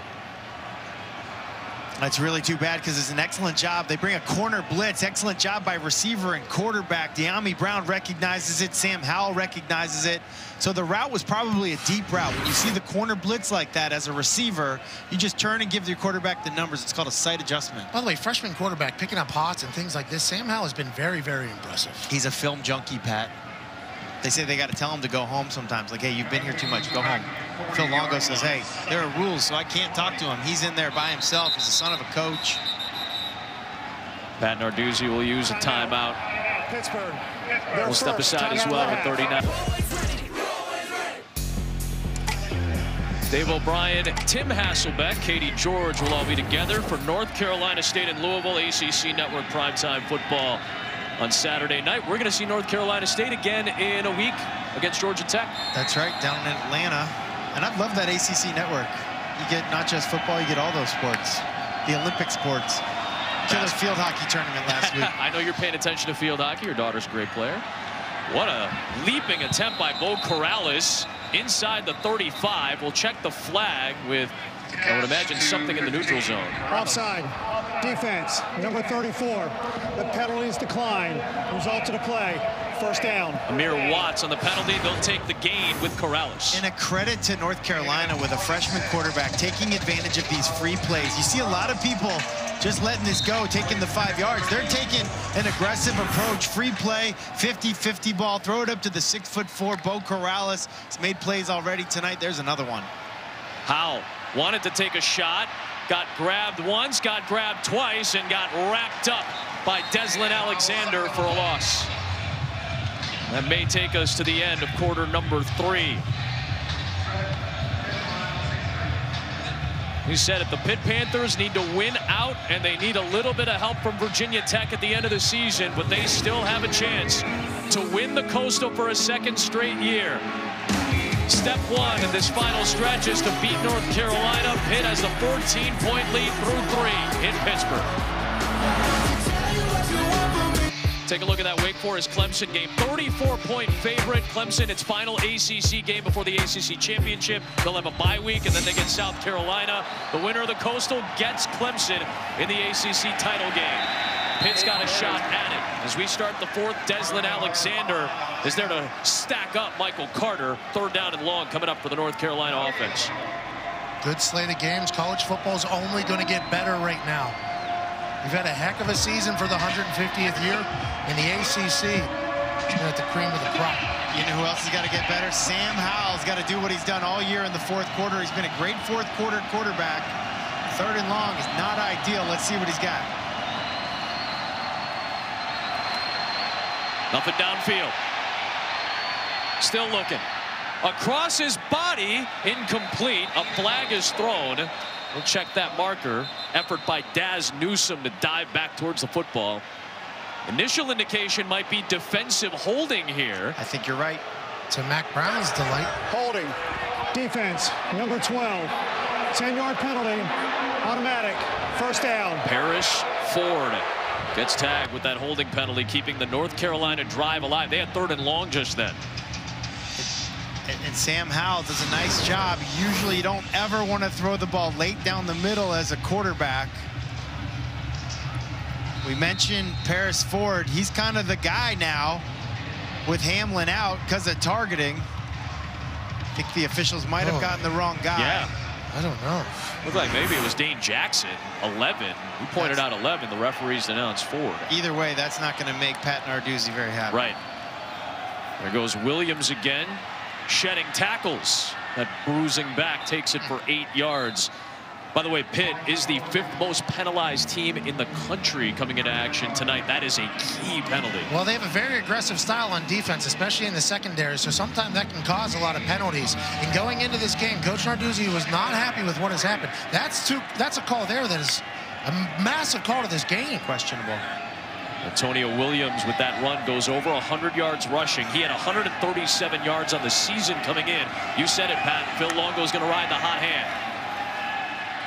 Howe to the sideline and a backpedaling catch by Newsome. That is a grab inside the 15, a first down for North Carolina. This is a really nice throw. It's a long throw from one hash on the right all the way outside to the left. He looked like he might have bobbled the ball. Looks like Marcus McKeithen, the right guard is down. We talk about a lot about the left tackle, Charlie Heck. He's got a great Sam Howell right out of the gate fires to the end zone and has Dyami Brown. North Carolina gets a key score and they're back within a touchdown. What a play call. Two guys wide open. Sam Howell sees them, Red zone touchdown. Nice long drive. 10th straight game for him with more than two touchdown passes. And even more so in the fourth quarter, this is when Sam Howell shows up. He now has 10 touchdowns, zero interceptions in the fourth quarter and overtime this season. He is a playmaker whenever it matters. Delivered the ball perfectly, touchdown, North Carolina Tar Heels. Shane Buechele and Sam Howell both have the most touchdowns in the fourth quarter in the country this year.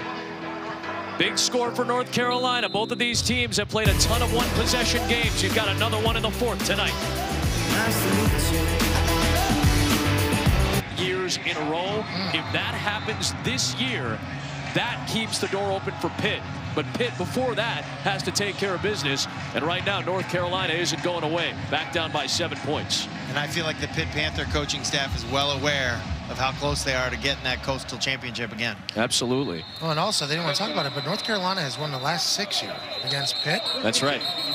Last six in the series since joining the ACC. And now this is what all the scenarios look like. No, the line on this that blows me away is 1,024 potential scenarios for the ACC Coastal. But this is how it happens. Virginia just needs to beat Vatech. Virginia Tech needs to win out, which would include a win against Pitt and Virginia. And Pitt needs to win out, and they need Virginia to beat uh, to lose to Virginia Tech on Black Friday. There's still a lot that can happen. And by the way, these are only three scenarios. There's a lot more behind this. There's potential for chaos with multiple three-loss teams in conference. And that's one of the things we heard from this coaching staff was that there's just parity in this coastal. It reminds them of the NFL. That's why situational football and penalties are so important. Square root of 32 there. That's more than there are in the division. Square root of 32? Uh, 1,024 has a square root of. Oh, the square root of 1,024 is 32. I thought you were saying. I see what you're Quick you're math talking joke. What it means is anything can happen. It is. about. No, not anything can happen. Only 1,024 things can happen, apparently, Pat. Who comes up? That's that's got to be the toughest job. The scenario builder, the scenario searcher. Who researches that? It's an algorithm. But for Kenny Pickett, I think the tough job is after that long drive for UNC is staying warm, staying loose. It's been a while since he's been out on the field. Pickett, incomplete, down to Molly. Adam, after Pitt's last possession, Mack Brown went up to his defensive players and said, your body language is bad. Don't hang your heads. Pick up your energy and keep playing. He finished with, you know how to win late in games, but you need to show me more energy. So Mack walked up and down the sidelines trying to incite some more fight from his defense. Let's see if they respond here. It's a young defense, an injured defense, certainly. And then Mack made it a point to say we're not trying to use that as an excuse, but it is difficult. Defense trying to come up with a stop and unable to hold on on this play is Nakia Griffin Stewart. Initially ruled a catch. Field judge comes in and says it's incomplete. DeAndre Hollins, redshirt freshman, comes in late to jar it loose. Wow, this is a good throw and a good defensive play. This is a New Jersey to New Jersey with Griffin Stewart being the Rutgers transfer. Kenny Pickett hosted him on his visit. They couldn't connect there, but that was very close to being a first down. Big play for Carolina. We see Kirk Christodoulou off this time. Alex Kessman is punting for the first time since high school. They're using him on the longer kicks. This is the first three at Pitt as well. And a flag is thrown from the defensive backfield. The play clock was winding down. Delay a game. Offense. Five-yard penalty. Fourth down. So Kessman is out there. I've been in a situation where you're normally a kicker, and then the coach says, hey, the punter's been struggling in the long field. We're going to give you a chance to punt it. Now he gets to delay a game. This is going to be something he remembers forever. You hope he just sits back there and lets it loose, as opposed to overthinking it. I'm excited to see Alex Kessman, who has a massive leg, get backed up again, I think. False start. Offense. Number nine. Five-yard penalty. Fourth down. Getting a little tough here now. And now listen, the only way you can kick an 85-yard punt if the ball is at the 20 is to get another five-yard penalty. That's the mindset if you're the punter, is you just have more field to work with now. That's the way you got to flip it as opposed to backing up now Very to positive. fourth and 20. Who, who is the delay of game on? Is that on the punter the personal protector? Who is that on? Uh, punter's not giving the cadence. The personal protector is. He hits a good one here, though. Yeah, first one since high school. Late fair catch signaled. And a 42-yard punt for Alex Kessman. And he's part of our College Football Award Spotlight brought to us by the Home Depot, who's on the Lou, Gro uh, Lou Groza Award watch list. Remember, he's got one of the best legs in all of college football.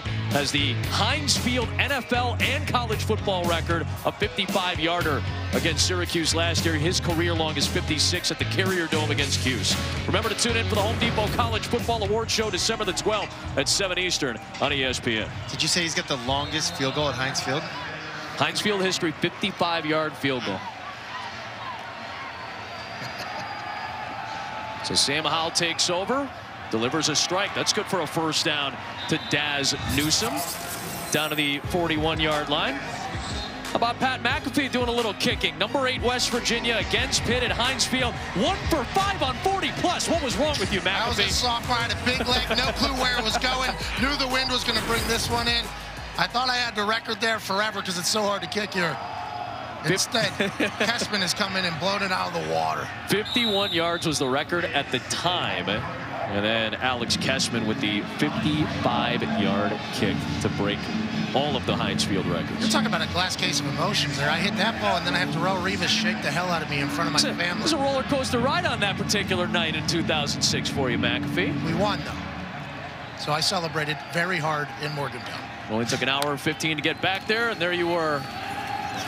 Sam Howell, another deep shot. He's got his man. It is caught by Newsome. Touchdown, North Carolina. Another 20-plus yard strike from Sam Howell to one of his targets. You talked about a roller coaster of emotion. That's what it's like being a Carolina fan this year. Fourth quarter, the legend of Sam Howell continues. We mentioned that inside fade. This is a little RPO action with an inside fade from the slot. What a strike. They're right back in this game. And this is fourth quarter Sam Howell. Everything just Yep. gets tightened up a bit. First pass of the drive, right on the money, drops it in the bucket, touchdown. Now we're about to have a tie game here in Pittsburgh. Oh, didn't I? Noah Ruggles. Oh, thank God. you thought you thought for a second there were going to be some upset folks at you. 48 points on the board, 24 apiece. Sam Howell, an outstanding drive. Howell's face does not change. He told me my strength is staying calm. My teammates are looking for, to me for confidence, so I can't flinch in moments of stress, and he hasn't flinched in this fourth quarter, Adam. He's been one of the best fourth quarter quarterbacks in all of college football this year. Yeah, and it's not just the fourth quarter. He doesn't flinch against the blitz. 11 for 16 with three touchdowns versus the blitz. I mean, he just dropped the ball in a bucket for a touchdown, and he just gave a little, yep, thank you so much. He's a freshman, with primetime television. This guy has got it. Whatever it is, this kid's got it, and it's impressive to watch. This was a storyline coming into the season. Mack Brown talked to us about it early in the year, about how tough it was in the fourth quarter of the last couple of seasons. Minus 72 in 2017 and 2018.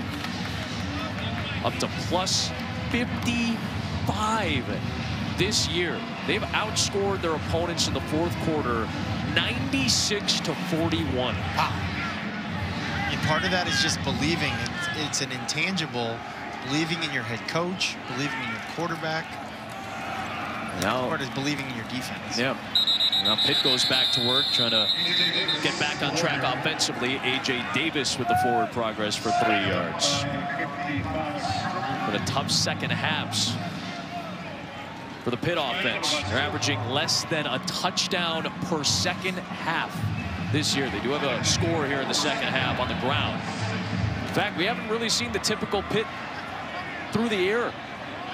We've seen two rushing touchdowns in this game from Pitt. That's been a rarity. Yeah, and they were hot, and then North Carolina started had- sustaining these very long drives, getting these offense on the sideline, kind of cool them off a little bit. That can affect the team whenever the other offense is on the field.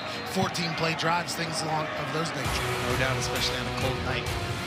Saturday, 8 Eastern on ESPN Plus, UFC Fight Night main card.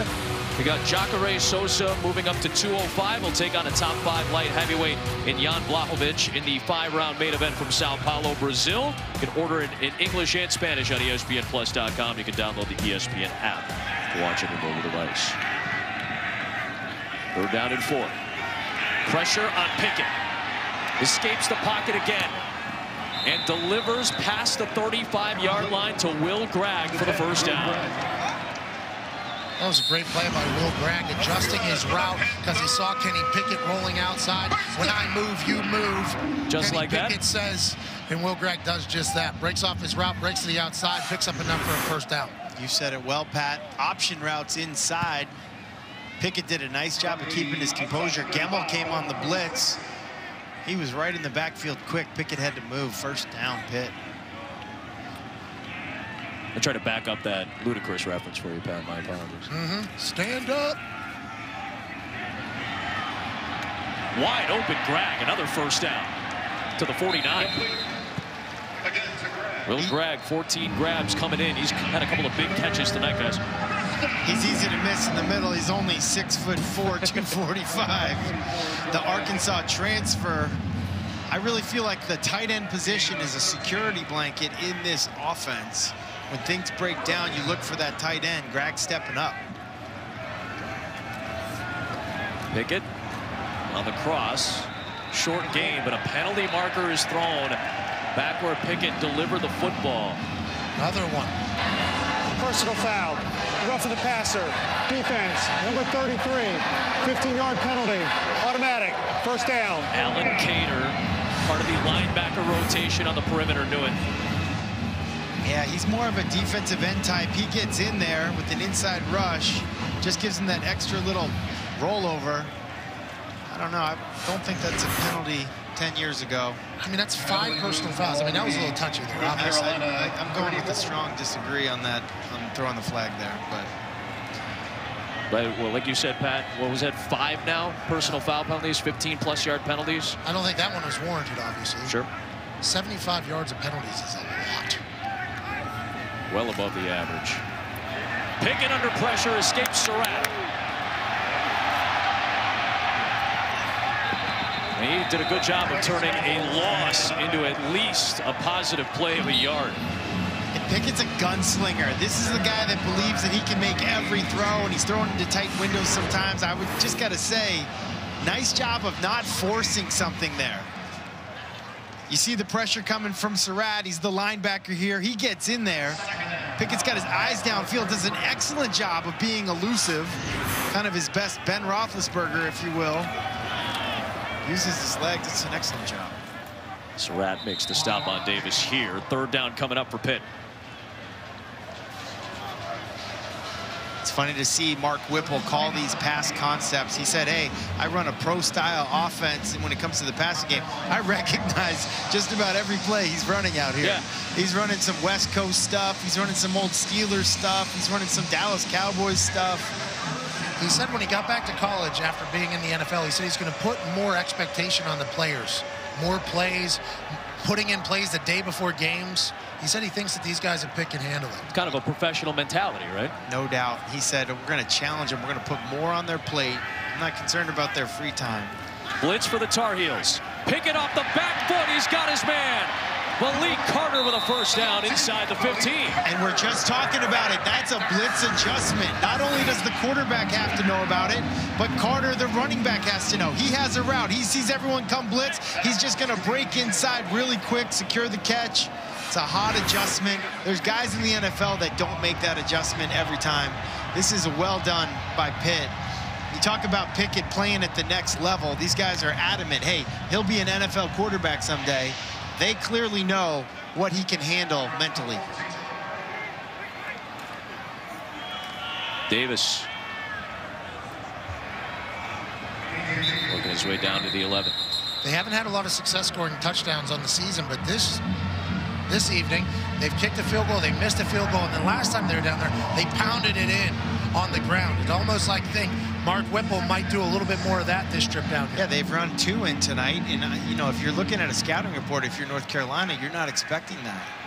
This is the first time in a game that Pittsburgh has had two rushing touchdowns in a year since last November against Wake Forest. It's a wild stat. That's because the wild cat. Oh. Pickett to the near side and just gets run out of bounds. And so that's a play right there where everyone's running the run play and just the quarterback knows, hey, I'm keeping I'm ball. keeping this one. Uh, unfortunately, I think Surratt knew as well. I watched Peyton do that for like 35 yards one time. the whole defense was like, there's no way Peyton keeps this ball.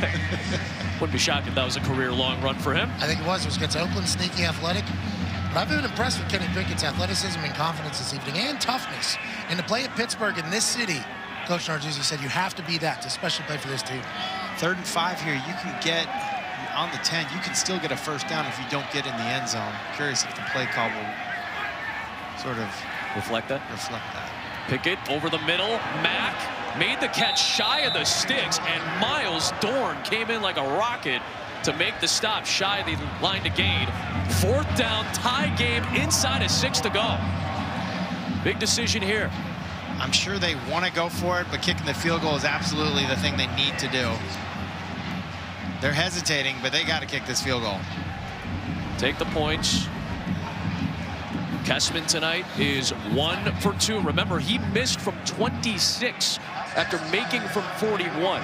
This would be from 24 for Kessman, who's made 11 of his last 13 after a very cold start. For the lead, it is good. Another tight one tonight in the Coastal between Baylor for the top spot in the Big 12. You got to wear camo and a McAfee jersey around here. Yeah, don't want to be seen. I was going to say, nobody wants to be seen in the lot, of, Pat lot, McAfee jersey. lot of skeletons in that closet here in Pittsburgh, guys. Not just in the closets, I'm sure. I'm sure there's a couple bars with some skeletons in the closet, too. I invested in a lot of these local establishments. Charlie Brewer, Jalen Hurts. It's going to be exciting on Saturday night on ABC down in Waco, Texas. As we get a look at our college football playoff rankings brought to us by Chick-fil-A. Week two of the playoff rankings. LSU up to the top spot. They've got Ole Miss on Saturday night on ESPN. It's going to be an incredible weekend of college football. Waco, Texas is going to be nuclear on Saturday morning for college. And. Lincoln Riley and Matt Rhule, two guys being considered for NFL jobs. They both say they're not leaving, but they're being considered. North Carolina starts from the 25-yard line. And on the ground, we'll get Michael Carter for a few. Wrapped up by Paris Ford. All three timeouts for North Carolina, two for the Panthers. These two teams have each played nine games this year. Eight of Mack Brown's games have been one possession games. Six of Pat Narduzzi's games have been one possession games.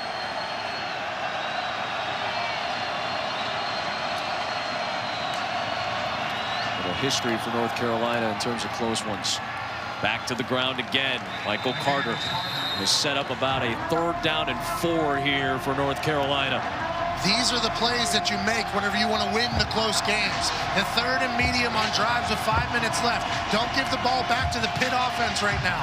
Mack Brown said he was used to winning the close games. This year they've been losing it, but they've been in every single game after a horrific year last year. These are the plays you have to make. And this crowd is in this game on this incredibly important third down.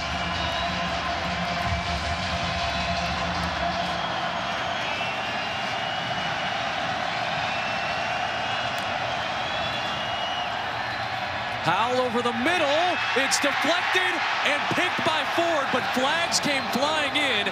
You would think with Jazzee Stocker coming in on defense that it might be a pass interference call. Well, it's tips and overthrows. Got to get, get those. those. for the secondary. But not one, not two, but three flags were thrown. Pass interference, defense, number seven. The ball be placed at the spot of the foul. First down. Don't forget, Damar Hamlin, their excellent safety, got knocked out because of targeting. Jazzee Stocker replaced him. Yeah, Jay Stalker, he knows what's coming. RPO's coming. He gets in there just a little mm, bit Yeah, too early. A little bit. I don't Yeah. think Pat Narduzzi's going to be excited about that call, but this is a new life for Carolina.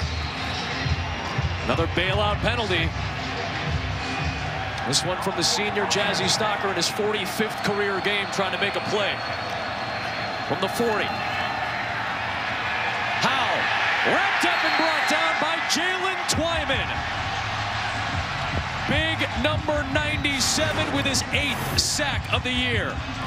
Jalen Twyman has been a guy that the coaching staff says has took the rest of the defense under his wing. Let's study more film. Let's work harder. He looks up to Aaron Donald and looked like Aaron Donald in a fourth quarter sack right there. You can't see me. He's a technician, Pat.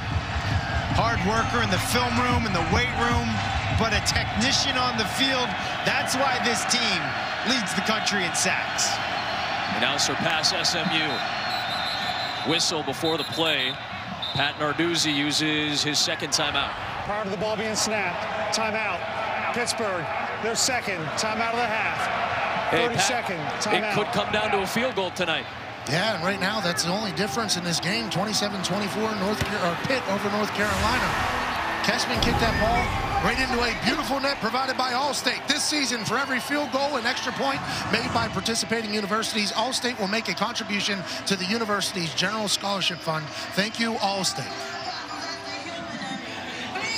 Nobody likes kickers the way the Thursday night crew. We appreciate our specialists. We said the four Pitt sacks have elevated them to the top of the charts in college football. SMU's got a great front. By the way, Chase Young will not play against Maryland, but is expected back just in time for that big game against Penn time. State. Obviously, we don't like that he was suspended at all. Two games, though. Best case scenario there for Chase Young and Ohio State. But tonight, the Pitt D-line has to eat or Sam Howell has to make another incredible play. Second and long. Pitt showing pressure. They're bringing it. Howe steps up and delivers to Newsome for a first down.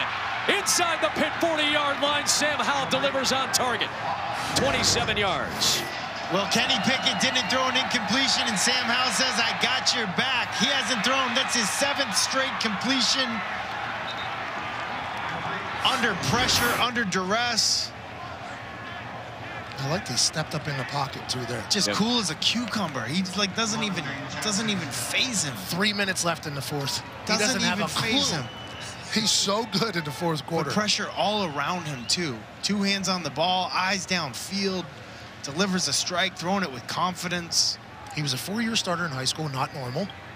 He was a Division One baseball recruit, athlete, and he clearly has ice in his veins. I don't know what it is, but that seems like that's what it is, and I hope my kid has one-fourth of it. Hey, and, listen, I was here, I, I was there on campus in Chapel Hill this summer. Spent some time with this coaching staff. They didn't know who their starting quarterback was going to be. They had all these young guys, and they were. I said, "Hey, who's your starting quarterback out of the spring?" So, well, we don't know yet. We haven't announced it. We we're not really sure. We haven't made a decision. It wasn't until basically fall camp started that they even named a starter, and it's this true freshman named Sam Howell, and he is balling. Congrats, Chapel Hill. You got a guy.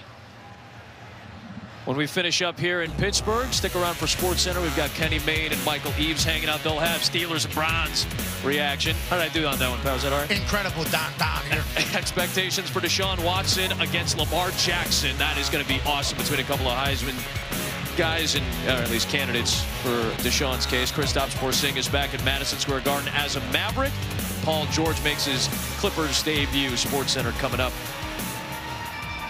Dane Jackson was the injured Pitt player, the cornerback, got taken off the field, was walking under his own power.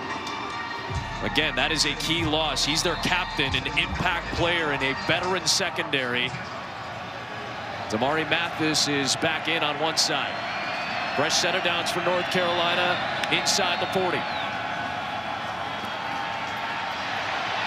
Howell patting those feet, leaving it up top, and it was deflected away. Excellent extension. That was a difficult play by Pinnock. and really nobody is open. Sam Howell's doing his best in the pocket, eyes downfield, but this Pitt defense had everybody on lockdown. Deslin Alexander gets in there on the pressure at the end, but Great technique by Pinnock there, not wrapping his left hand around, causing a penalty, just getting up there and batting that thing away. He's a tall corner, but losing Dane Jackson to that injury, he is their best cover guy. There's Carter on the screen. Flag is thrown. As he works down to the 35-yard line, but we'll check the marker here. Holding. Offense. Number five. 10-yard penalty. Second down. Got the receiver Dazz Newsome on the perimeter for the holding penalty. That's going to make up a second and long. And all of Heinz Field knew it the moment it happened. they erupted as if they made a field goal or something. This is just a little wide receiver kind of bubble screen. Dazz Newsome on the block. That's a tougher block than people realize for wide receivers in the slot there. But that penalty hurt him. Second down and 20 back at the 49. Most penalty yards North Carolina's had since the opener against South Carolina. Flip it out to the outside, and Dyami Brown will get a lot of that yardage back. Third down and a long 10 coming. Yeah, and it was second and 20. Your goal on second and 20 is to get half of it back. They call an out route at exactly 10 yards. Now it's third and 10. And this is tough because we've discussed Noah Ruggles. Some key misses from the kicker position right now. So how do you play this on third and 11? If it's not a really short fourth down, then it's two down territory. Howell throws hmm. towards the sticks. It is caught. It's a first down. Dazz Newsome having a career night tonight with over 150 yards receiving. And you could see his disappointment when he got called for the holding call and he came back and said, hey, I'm going to make up for that. Dazz Newsome with an incredible route, an out route. It's up top. Well done. And that ball by Sam Howell. Well, you guys have said it a couple times, like ice water in the veins, doesn't even realize it's the fourth. Hasn't flinched. Delivers to the far sideline this time to Beau Corrales. Works down near the 20, inside of the 19. 100 seconds left. And they, they went with the play action to Antonio Williams, and he might have walked in had they given him the ball. I think this team realizes they can feel what we feel up here. Sam Howell has something special, and he's got this team driving. They feel like they're going to stop Sam Howell. Remember, Pat Narduzzi used a couple timeouts. He only has one left. Howell hands it off right up the gut. And Antonio Williams, who's had a fantastic night tonight with over 100 yards, adds six more. He moves the chains. Clock stops momentarily to move the chains. I think Phil Longo heard you there, Matt. Feed it right up the gut there. It's wide open. Hands on hips on this Pitt D right now. Williams spins away, still on his feet. Good rally to the football by that Pitt defense. Cam Bright get there first, Chase Pine second. It'll be second down coming up. And the danger is getting too conservative here because you realize that you're in field goal territory. Sam Howell's only got one incompletion, eight for nine on this drive, or sorry, in this fourth quarter. You're saying let him sling it a couple I'm just times. saying, don't forget what got you here. Clock continues to move down to 25 seconds. Howell for the lead in the end zone, and it's incomplete. Was trying to find big Beau Corrales at six foot four. He's targeted him late in games often. They go with the jump ball, the 50-50 ball, but it's a bail technique by the DB, meaning that he's got his eyes on you. Pinnock's also tall. Fortunate that there wasn't a penalty called on Beau Corrales for a little bit of a push-off. But I don't dislike the play call at all. The energy in this stadium has picked up immensely. 21 seconds left here. Matt, third and 12. Max trying to call a timeout. Gets it. First one. Timeout. North Carolina. Their first timeout of the half. 30-second timeout. Comebacks in back-to-back games for Mack Brown's team to open the season against South Carolina. Coming back in the fourth quarter, did it against Miami in the ACC opener as well. They've trailed in the fourth quarter multiple times this year. They've come back to win too. And a big reason why they've been in a lot of these games with the young lineup is their freshman quarterback, Sam Howell. He's been great in the fourth quarter again tonight. And they believe in him, and that is half the battle. When you're trying to be the quarterback of a team, of a franchise, of a school, your teammates and coaches believe in you is half the battle. Well, Mack Brown said Sam Howell is the first freshman that's ever been voted captain to one of his teams. It's happened twice this year, including tonight. The players vote for the game captain. It's Sam Howell. He's a freshman.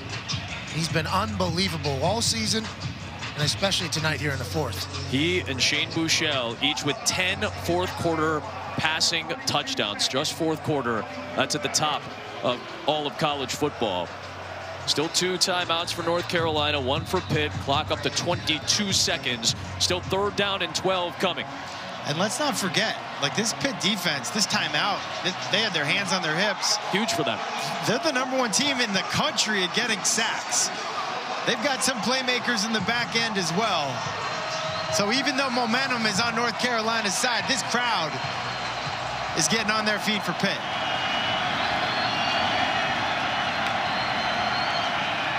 Howell to the end zone, and it's broken up. Jason Pinnock had the coverage on Corrales again. This is exactly what I was talking about. You can throw a fade on a bump and run press coverage corner, but this is pretending to be bump and run, and then he bails out with eyes on the quarterback. Almost impossible to complete that, complete that pass. So now, Pat, take me inside Noah Ruggles' head. Noah Ruggles has not had the most amazing year. But who cares? He's been great under 40, 32 yards, prime time television to tie it up in the fourth with 17 seconds left. Timeout. It'll be Pat Narduzzi icing Ruggles. Timeout. Pittsburgh, their third and final timeout of the half. 30 second timeout. Ruggles has made one from 25 tonight. And now Mack Brown goes over and says, hey, you're going to make this kick. That's what he told us earlier. He said to his kicker, hey, you're going to be okay. You're going to make this kick. He had some struggles late in that game, that six overtime contest against Virginia Tech in particular. But an opportunity to keep North Carolina, uh, North Carolina alive in this game. 17 seconds to go. We told you the scenario for Pitt. They need to win out to have a shot at the Coastal, and they need Virginia Tech to beat UVA. North Carolina needs two wins in their last three to reach a bowl. That was fascinating for me to see Mack Brown talk to the kicker. That dynamic, you never know. Should you talk to the kicker? Should you leave him alone? I think that's all overplayed. Honestly, I do. Because you're a really good kicker. Well, I was an average one, but I was around the greatest of all time for a long time. Here we Got go. a chance to think about it, though. Ruggles to tie it from 32.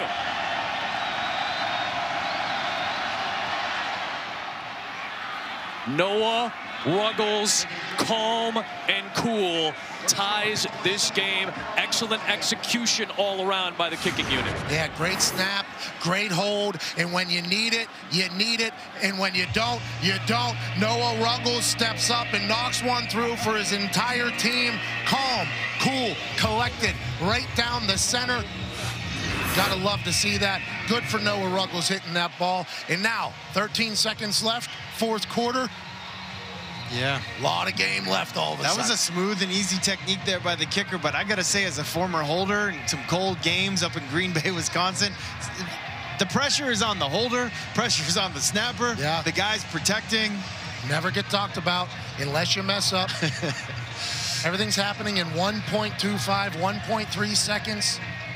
A full snap, a hold, a kick. There's a lot, and that was perfectly executed by these student human athletes from University of North Carolina. Hmm. Trevor Collins on the snap and Cooper Graham on the hold, allowing Ruggles to put away the game-tying field goal with still 13 seconds remaining.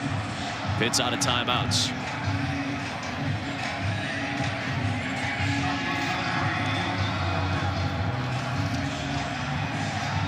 Shocky Jacques Louis has been productive the last couple of games. He's back to return. Can he deliver a big one? Picks it up after the drop. And he'll get shut down just across the 20-yard line. Still six seconds remaining. North Carolina has lost 17 straight games when they've trailed by 14 or more. They trailed at one point 24 to 10 and scored 17 of the last 20 points. Nothing that happened before Mack Brown got here matters, though. He's re-energized this entire program. Looks like the Panthers are going to take a knee and take this to overtime, unless we got a Tulane. Lee, I was going to say, unless Willie Fritz shows up. But indeed, we're going to go to overtime. Free football. Let's, uh, let's let's applaud the free football. I'm all right with that. Here we I go. like free football. The last overtime game Pitt played was against Syracuse last year. They won by seven.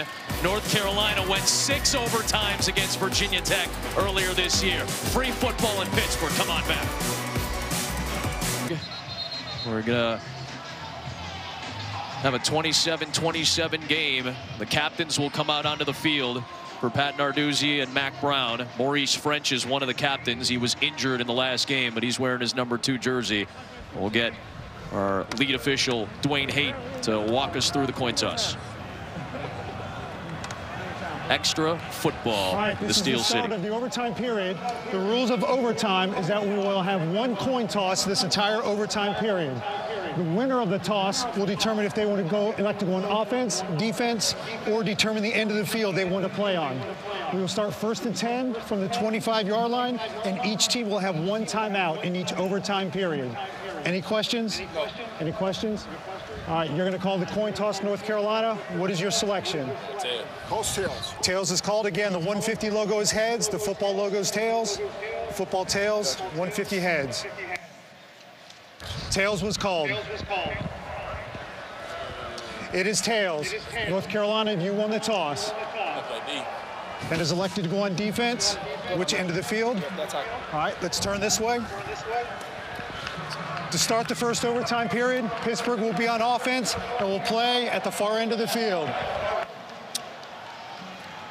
Let's give you the updated rules of overtime as well. Obviously, Mack Brown and North Carolina have already been through that fifth overtime against Virginia Tech. That game went to six OTs, but top of the first, bottom of the first overtime, and we'll continue on if need be after that. You have to go for the two-point conversion after a touchdown, starting with the third OT. It's a two-point shootout, essentially, starting with the fifth overtime.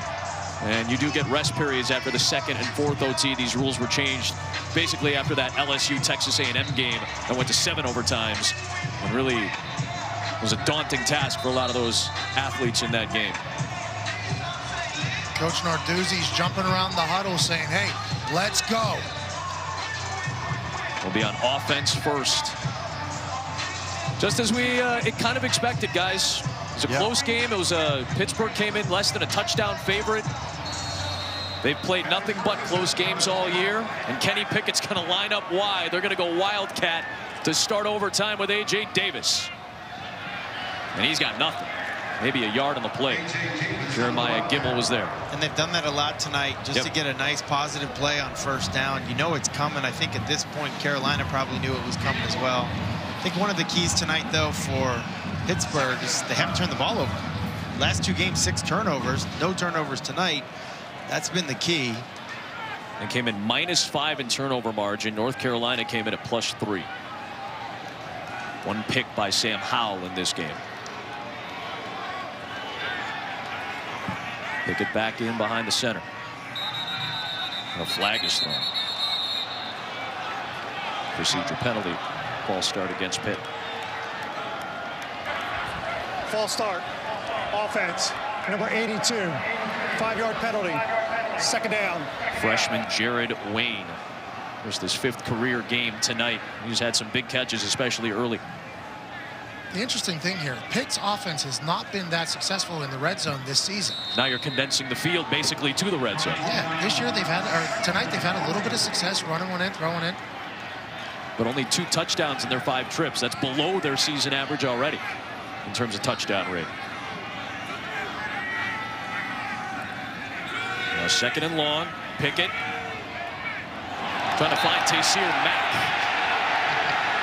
Looked like there was a deflection on that play. I'm sure the fans maybe wanted pass interference, but as soon as the ball is deflected, any pass interference is negated. So I think maybe Jason Strowbridge got a paw on that ball, which again would negate any pass interference. Jason Strowbridge going to be a next level player. Move him out to DN, gets the big paw up, bats the ball, which completely waves off any pass interference, much to the chagrin of this Heinz Field crowd. Good use of chagrin, Brad. And the problem here for Pitt is they're they're on the right on the cusp of a long field goal Yeah. as well. So obviously you're looking to score a touchdown here, but you got to be careful. Third and 14. Pickett finds a man, and that's good enough for a first down for Taysir Mack. When they needed him most, he comes up clutch. Wow, with Maurice Ffrench out, someone has to step up. We said it in the open Taysir Mack. We expected him to be that guy. Nice accuracy on the ball. He stops the receiver with the back shoulder throw, keeping him away from trouble there. Tomon Fox was coming to knock him out. Pickett delivers once again. Mack tripped up. I beg your pardon, Shocky Jacques Louis tripped up. The ball came loose at the end, but he was already down. They pick up eight on that play, guys. and a lot of runaway routes, a lot of crossers, shallow crossers, mid-range crossers. It's an easier way to get open sometimes in a, in a condensed red zone. A Little shoestring tackle there for Jacques Louis, almost got out. There's A.J. Davis. Going to power ahead. That is good enough for a first down. First down and goal for Pitt. First and goal, and I would not count out Kenny Pickett's legs. Sure. He's already rushed for a touchdown tonight. Yeah, I would not count that out as something you got to think about here, keeping Pittsburgh out of the end zone. He's been running a lot tonight to his right, mostly. Pickett has 50 rushing yards. It's the second most rushing yards he's had in a game this year. I would love to put like a Fitbit on him tonight. As much as he's running the to the running back and forth, yep. Extra football, too. This is big. Pickett keeps it, running in for the touchdown, his second of the night.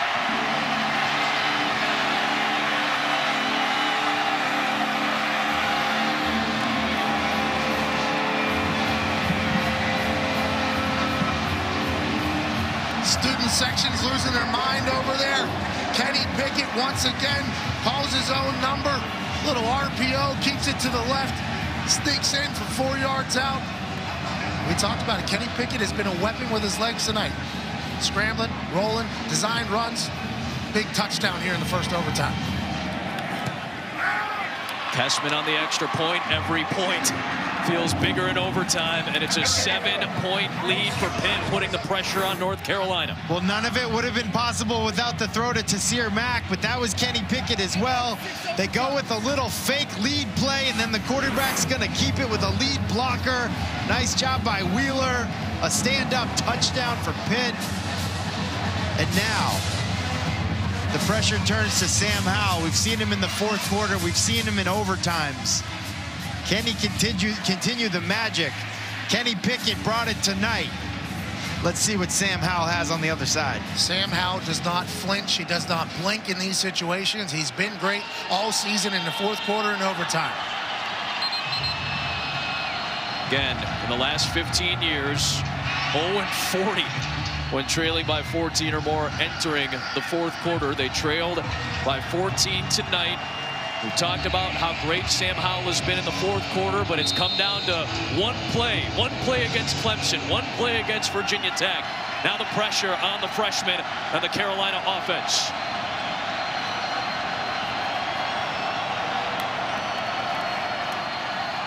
Off the fake. Howell wants it all on play number one, and it's incomplete. Streaking down the sideline, Dazz Newsome with Jason Pinnock in coverage.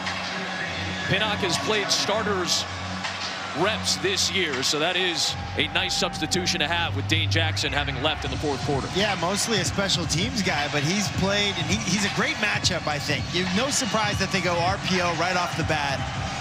Inside fade again, but Pinnock was up for it. Jackson back out there, as you saw. Part of that veteran secondary for Pitt going up against the freshman QB. Howell hit as he throws, and it drops incomplete.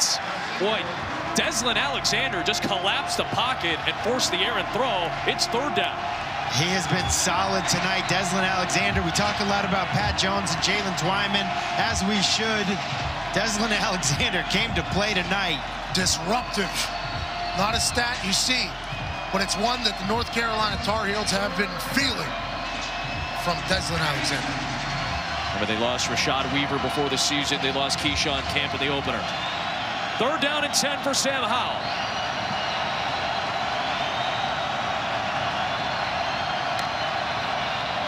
Four-man rush.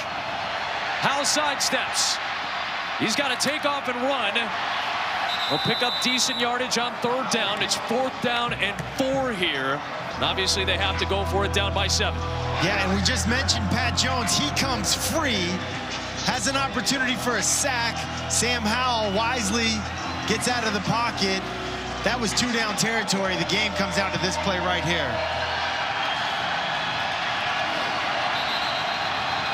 Timeout. Each team gets a timeout in the overtime Timeout. period. Pittsburgh, the one and final timeout of this overtime period. And Pat Narduzzi has used, I feel like he's used all of his timeouts On defense, on right? defense Yeah. or special teams tonight. The Well, interesting it's- thing for me was North Carolina got to pick the side of the field they wanted to play on. They picked right in front of the Pitt student section. I wonder, Pat, and tell me if I might be wrong, of a lot of stadiums in the country, college kickers don't necessarily see a closed end and an open end, especially one that a lot of NFL kickers have said, this is a hard stadium to kick towards when you're kicking towards the river.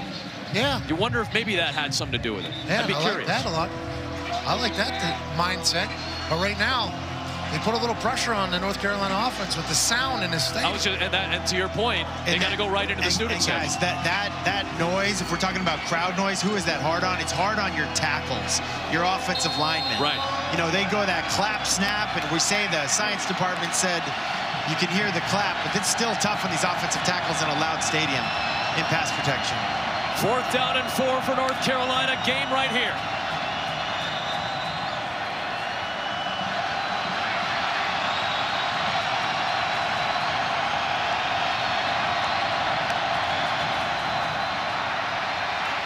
Howell into space for Newsome. He's got to get the 15, and he does.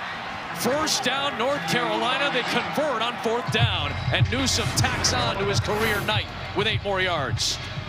A little return route by Dazz Newsome. He comes inside, breaks back outside. Sam Howell, cool, calm, and collected under pressure. Little yards after the catch for the first down. Fourth and four, and you come out with that incredibly savage route. What a route run there by Newsome. All at the 11-yard line, first down and 10. Here's Williams. Right at the line of scrimmage, nothing there. Deslin Alexander out on the perimeter with Chase Pine. Antonio Williams has had the best night of his North Carolina season. Former Ohio State Buckeye. He popped a couple big ones right up the gut earlier in the game. He's been a workhorse for him tonight. Over 100 yards rushing for the first time.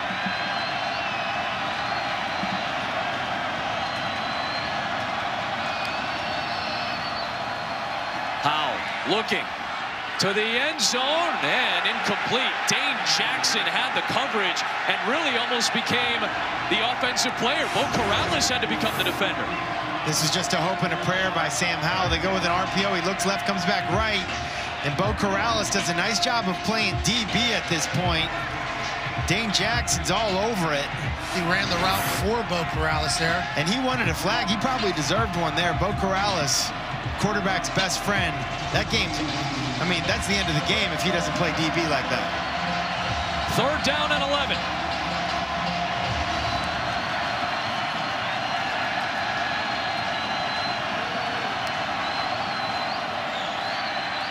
Howell pumps. Howell gets wrapped up with a sack. Guess who? Big 97. Wearing Aaron Donald's number, Jaylen Twyman. And guys, I was just about to say, they don't feel any need to bring blitzers. They believe they can get a pass rush with this D-line. This four-man rush provides plenty of pressure on the quarterback. Jaylen Twyman, the leader of this D-line, a dominant force, most sacks in the country. And whenever you need them, big-time players make big-time plays in big-time situation. Jaylen Twyman beats his guy, wraps up Sam Howell so he doesn't get any big-time personal foul, and just brings him down softly here. Five sacks for Pitt tonight. Jaylen Twyman, since Aaron Donald's senior year in 2013, only two players have worn 97, but it's usually just handed out by the equipment manager. Jaylen Twyman said, give me 97. He's one of the top sack men in the ACC. And when Pitt's defense gets going, as they have tonight, they usually win under the defensive-minded Pat Narduzzi. Fourth down and essentially goal here on fourth and 16 from the 17.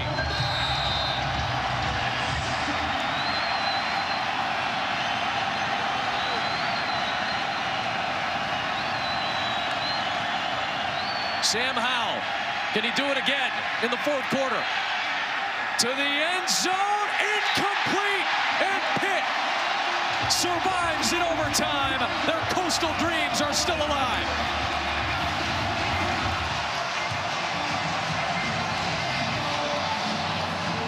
What a scene here. The Pitt team is storming the field in pure excitement. One guy hit a backflip. Narduzzi gave a guy a hug. They've been winning these close games. Mack Brown said they've been losing these close games. Tonight was just that. fourth and 16 and overtime is tough when you need a touchdown. Sam Howell almost made a play.